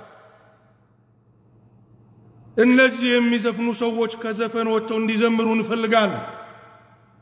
እነዚህ ሳይቀሩ አቅም ገንብተው አንድ ካህን አንድ መምህር መምህር አላ ዘመቻ ሲዘምቱ መልእክቱ እናንተ ጋር እንዲደርስ የገንዘብ ጉዳይ አይደለም። በነፃ ነው የምናገለግለው ቤተ ክርስቲያኒቷን። ያው እግዚአብሔር ምስክር ነው። ደግሞ እግዚአብሔር ያውቃል የውስጣችን የልባችን እግዚአብሔር ያውቃል። ስለዚህ ዓላማው መንፈሳዊ አገልግሎትና መልእክቱን እናንተ ጋር ማድረስ ነው። አሁንም ሌላ interview የሚሰሩ ሌላ የሚነቅፉ ሌላ የሚሳደቡ ይሳደቡ፣ እናንተ አትከተሉ እነሱ እግዚአብሔርን ብቻ ስሙ። እንዲማሩ ነው ዓላማው፣ እንዲመለሱ እነሱ እኮ ደግሞ የራሳቸውን ደግሞ subscribe አድርጉ ይላሉ። ለቀሲስ ብሩክ ለመምህራኑ ሲሆን ለምንድን ነው እርግማን ይሆን? ይሄ የሚያሰናክል ከሆነ ምናልባት እናቆመዋለን። ግን ይሄ የወንጌል አገልግሎት ይሄ አሁን ዛሬ በፌስቡክ ነው እያስተላለፍን ያለ ይኸው በቃ ሌሎች ደግሞ እናቶች አሉ እዚህ እኛ አጥቢያ ላይ እንኳን ያሉ ቨርጂኒያ፣ ዲሲ፣ ሜሪላንድ አካባቢ ፌስቡክ የለንም መምህር ምን ነው ዛሬ ዩቲዩብ ላይ አላስተማርክም እንደ የሚሉ ፌስቡክ ያለው በፌስቡክ ውይ በግድ በዩቲዩብ ውይ አንልም። ዩቲዩብ ያለው በዩቲዩብ ቴሌግራም አለ፣ conference call አለ።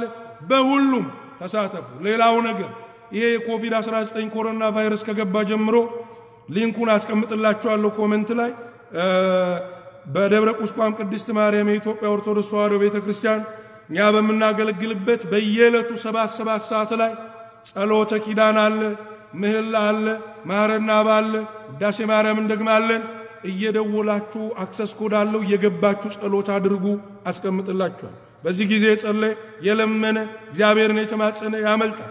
ወደ ስድስት መቶ ሰባት መቶ የሚሆኑ ሰዎች conference call ኡ ላይ ገብተው ይሳተፋሉ። ከሺህ ሰው በላይ ይችላል። አንድ ሺህ ሰው ያስተናግዳል። ጸሎቱ እንድትሳተፉ ነው መምህራን ጋብዘን አስር አስር ደቂቃ ስብከትና ትምህርት አለ።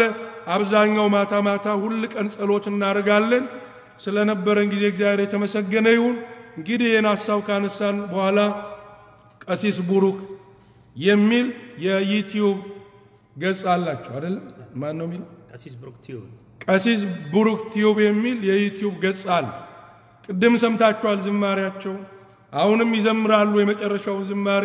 ያን ዝማሬ እንድታገኙ ያ ዝማሬ እናንተ ጋር እንዲደርስ በዛ ዝማሬ እንድትባረኩ ያንን የ YouTube channel subscribe እያደረጋችሁ share እያደረጋችሁ ለሌሎች ሰዎች መልእክቱን አስተላልፉ። ለሌሎች ሰዎች እኔም ፌስቡክ ላይ የማላስተምራቸው YouTube ላይ ያሉ ትምህርቶች አሉ። እናት ተዋሕዶ ወይም መምህር ደበበ እስጢፋኖስ ብላችሁ ብትገቡ ታገኛላችሁ። አገልግሎቱ ሰዎች ጋር እናንተ ጋር እንዲደርስ አድርጉ። አምላካችን እግዚአብሔር ስሙ የተመሰገነ ይሁን። ነገ እንግዳ መምህር ጋብዝላችኋለሁ። እንደዚሁ በርቀት ሆነን ትምህርት እንማራለን። አሁን አንድ የቤተ ክርስቲያን ዜማ አለች ከትምህርታችን ጋር የሚሄድ ይትስክር ለነ አበሳነ ዘትካት የሚል እሷ መዝሙር አለች፣ ዜማ አለች። እሷን ዜማ ዚመውልን ዝማሬ ዘምረውልን የዛሬ አገልግሎታችንን እናበቃለን። ሰላም እግዚአብሔር ከሁላችን ጋር ይሁን። እመቤታችን በረድኤታ አትለየን።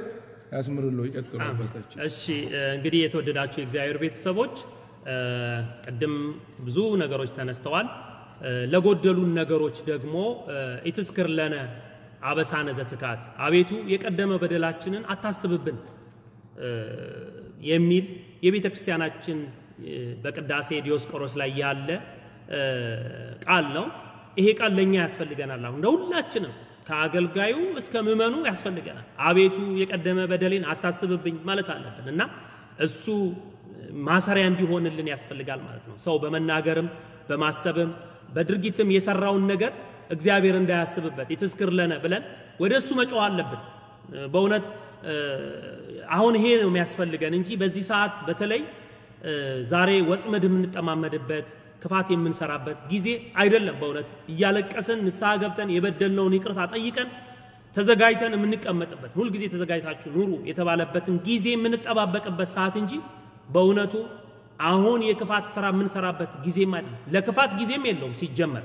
ግን ጊዜው አሁን ያለንበት ወቅት የበለጠ ከዚህ ነገር ርቀን መቼም ቢሆን መራቅ አለብን። አሁን ግን ከባድ ሰዓት ነው። እንዘ ያምር ሰብ ዘይመጽእ ላዕሌሁ ከዚህ ስንወጣ ምን ምን እንደሚገጥመን የማናቅበት ሰዓት ላይ ደርሰናል።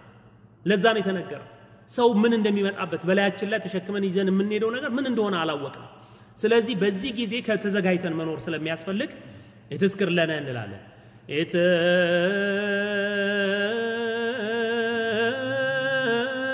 ኢትዝክር ለነ አበሳነ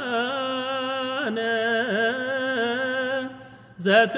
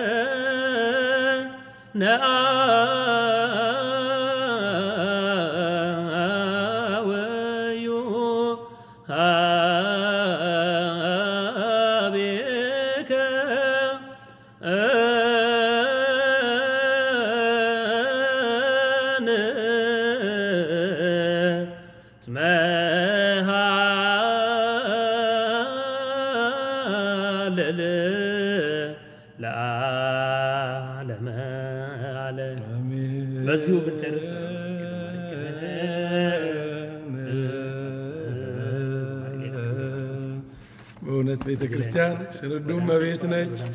የቤተ ክርስቲያን አምላክ እግዚአብሔር የተመሰገነ ይሁን። አሁኑ በዜማ ያዜሙልን። የቀደመ በደላችንን አታስብብን። አቤቱ ይቅርታ ፈጥኖ ይደረግልን። ወደ አንተ እንጮዋለን፣ ወደ አንተ እናለቅሳለን፣ ወደ አንተ እንማልላለን። ለዘላለም ለዘላለም አሜን ይሁን ይደረግልን ብለውን ያዜሙልን። እግዚአብሔር አምላክ ዝማሬ መላእክትን ያሰማልን። ድንቅ የሆነ ዜማ ነው። በዘመርነው ዝማሬ ባገለገልነው አገልግሎት ክብሩ ለእግዚአብሔር በረከቱ ለሁላችንም ይሁን። የእግዚአብሔር ቸርነት የድንግል ማርያም ወላዲት አምላክ አማላጅነት የአበው የአባቶቻችን ጸጋና በረከት የቅዱሳን ጸሎት ከሁላችን ጋር ይሁን። የሰዋናውና ትልቁ መጀመሪያው ሳይሆን መጨረሻው ሲያምር ነውና በሰማይ የሚኖር በጸጋ የሚጠብቀን አምላካችን እግዚአብሔር የሁላችንንም መጨረሻ ያሳምርልን፣ ሃይማኖታችንን ያጽናልን፣ ምግባራችንን ያቅናልን። በዚህ በወረርሽኝ በኮቪድ-19 በሌላውም በሽታ የመምዳኛ የአልጋ ቁራኛ የሆኑ ወገኖቻችንን እግዚአብሔር አምላክ ይፈውስልን፣ ምሮ ለምስክርነት ያብቃልን፣ እኛንም ከዓይነ ሞት ይሰውረን፣ ለንስሐ ሞት ያብቃል። አምላካችን እግዚአብሔር የወደቁትን ያንሳልን፣ የተሰበሩትን ይጠግንልን።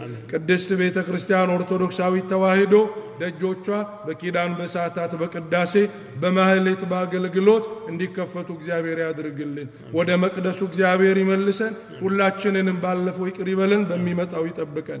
ሀገራችን ኢትዮጵያን ይጠብቅልን። እግዚአብሔር ክብርና ሞገስ ይሁናት። ለሀገራችን ለኢትዮጵያ ሰላም ይስጣት። ሕዝቦቿን በአንድነት በፍቅር ይጠብቅልን። ኤርትራን፣ አፍሪካን፣ አውሮፓን፣ አሜሪካን፣ መላው ዓለሙን እግዚአብሔር ይቅር ይበለው፣ ምሕረት ይላክልን፣ ቸርነት ያውርድልን። እመቤታችን በረድኤታችን ለይን። ከሌላ እንግዳ ጋር ከቀሲስ ከመምህር ሶሎሞን ኃይሌ ጋር ከመምህር ሶሎሞን ኃይሌ ጋር ነገ በተመሳሳይ ሰዓት እንገናኛለን። አምላካችን እግዚአብሔር ስሙ የተመሰገነ ይሁን። እግዚአብሔር ይስጥልን። ልዑል አምላክ እግዚአብሔር ከሁላችን ጋር ይሁን። ይህን መልእክት share አድርጉ። ይህ ዛሬ ያስተማርነውን መልእክት share አድርጉ። ዛሬ በ Facebook በ YouTube አላስተላለፍንም። ነገ ከተቻለ እሱን ለማድረግ እንሞክራለን። ሁላችሁም በፌስቡክ ያለውን ለሁሉም share አድርጉ መልእክቱን። ነገ 12 ሰዓት ተኩል እንገናኛለን። በቤተ ክርስቲያን ጸሎት በድንግል ማርያም ቃል ኪዳን መዓቱን በምሕረት ቁጣውን በትዕግሥት ይመልስልን። በአውሮፓ፣ በካናዳ፣ በሩቅ ምስራቅ፣ በአረቡ ዓለማት የምትኖሩ ሁላችሁም በስደት ያላችሁ ኢትዮጵያም ያላችሁ ወገኖቼ እግዚአብሔር ከክፉ ጠብቆ ይህንን የመከራ ዘመን እንዳለፈው ክረምት ያሳልፍላችሁ ያሳልፍልን። አሜን። እመቤታችን አትለየን። የእግዚአብሔር ቸርነት፣ የድንግል ማርያም አማላጅነት፣ የአባቶቻችን ጸጋና በረከት፣ የቅዱሳን ጸሎት ከሁላችን ጋር ይሁን። አሜን። ሰላም ዋሉ። ቸር ያገናኝ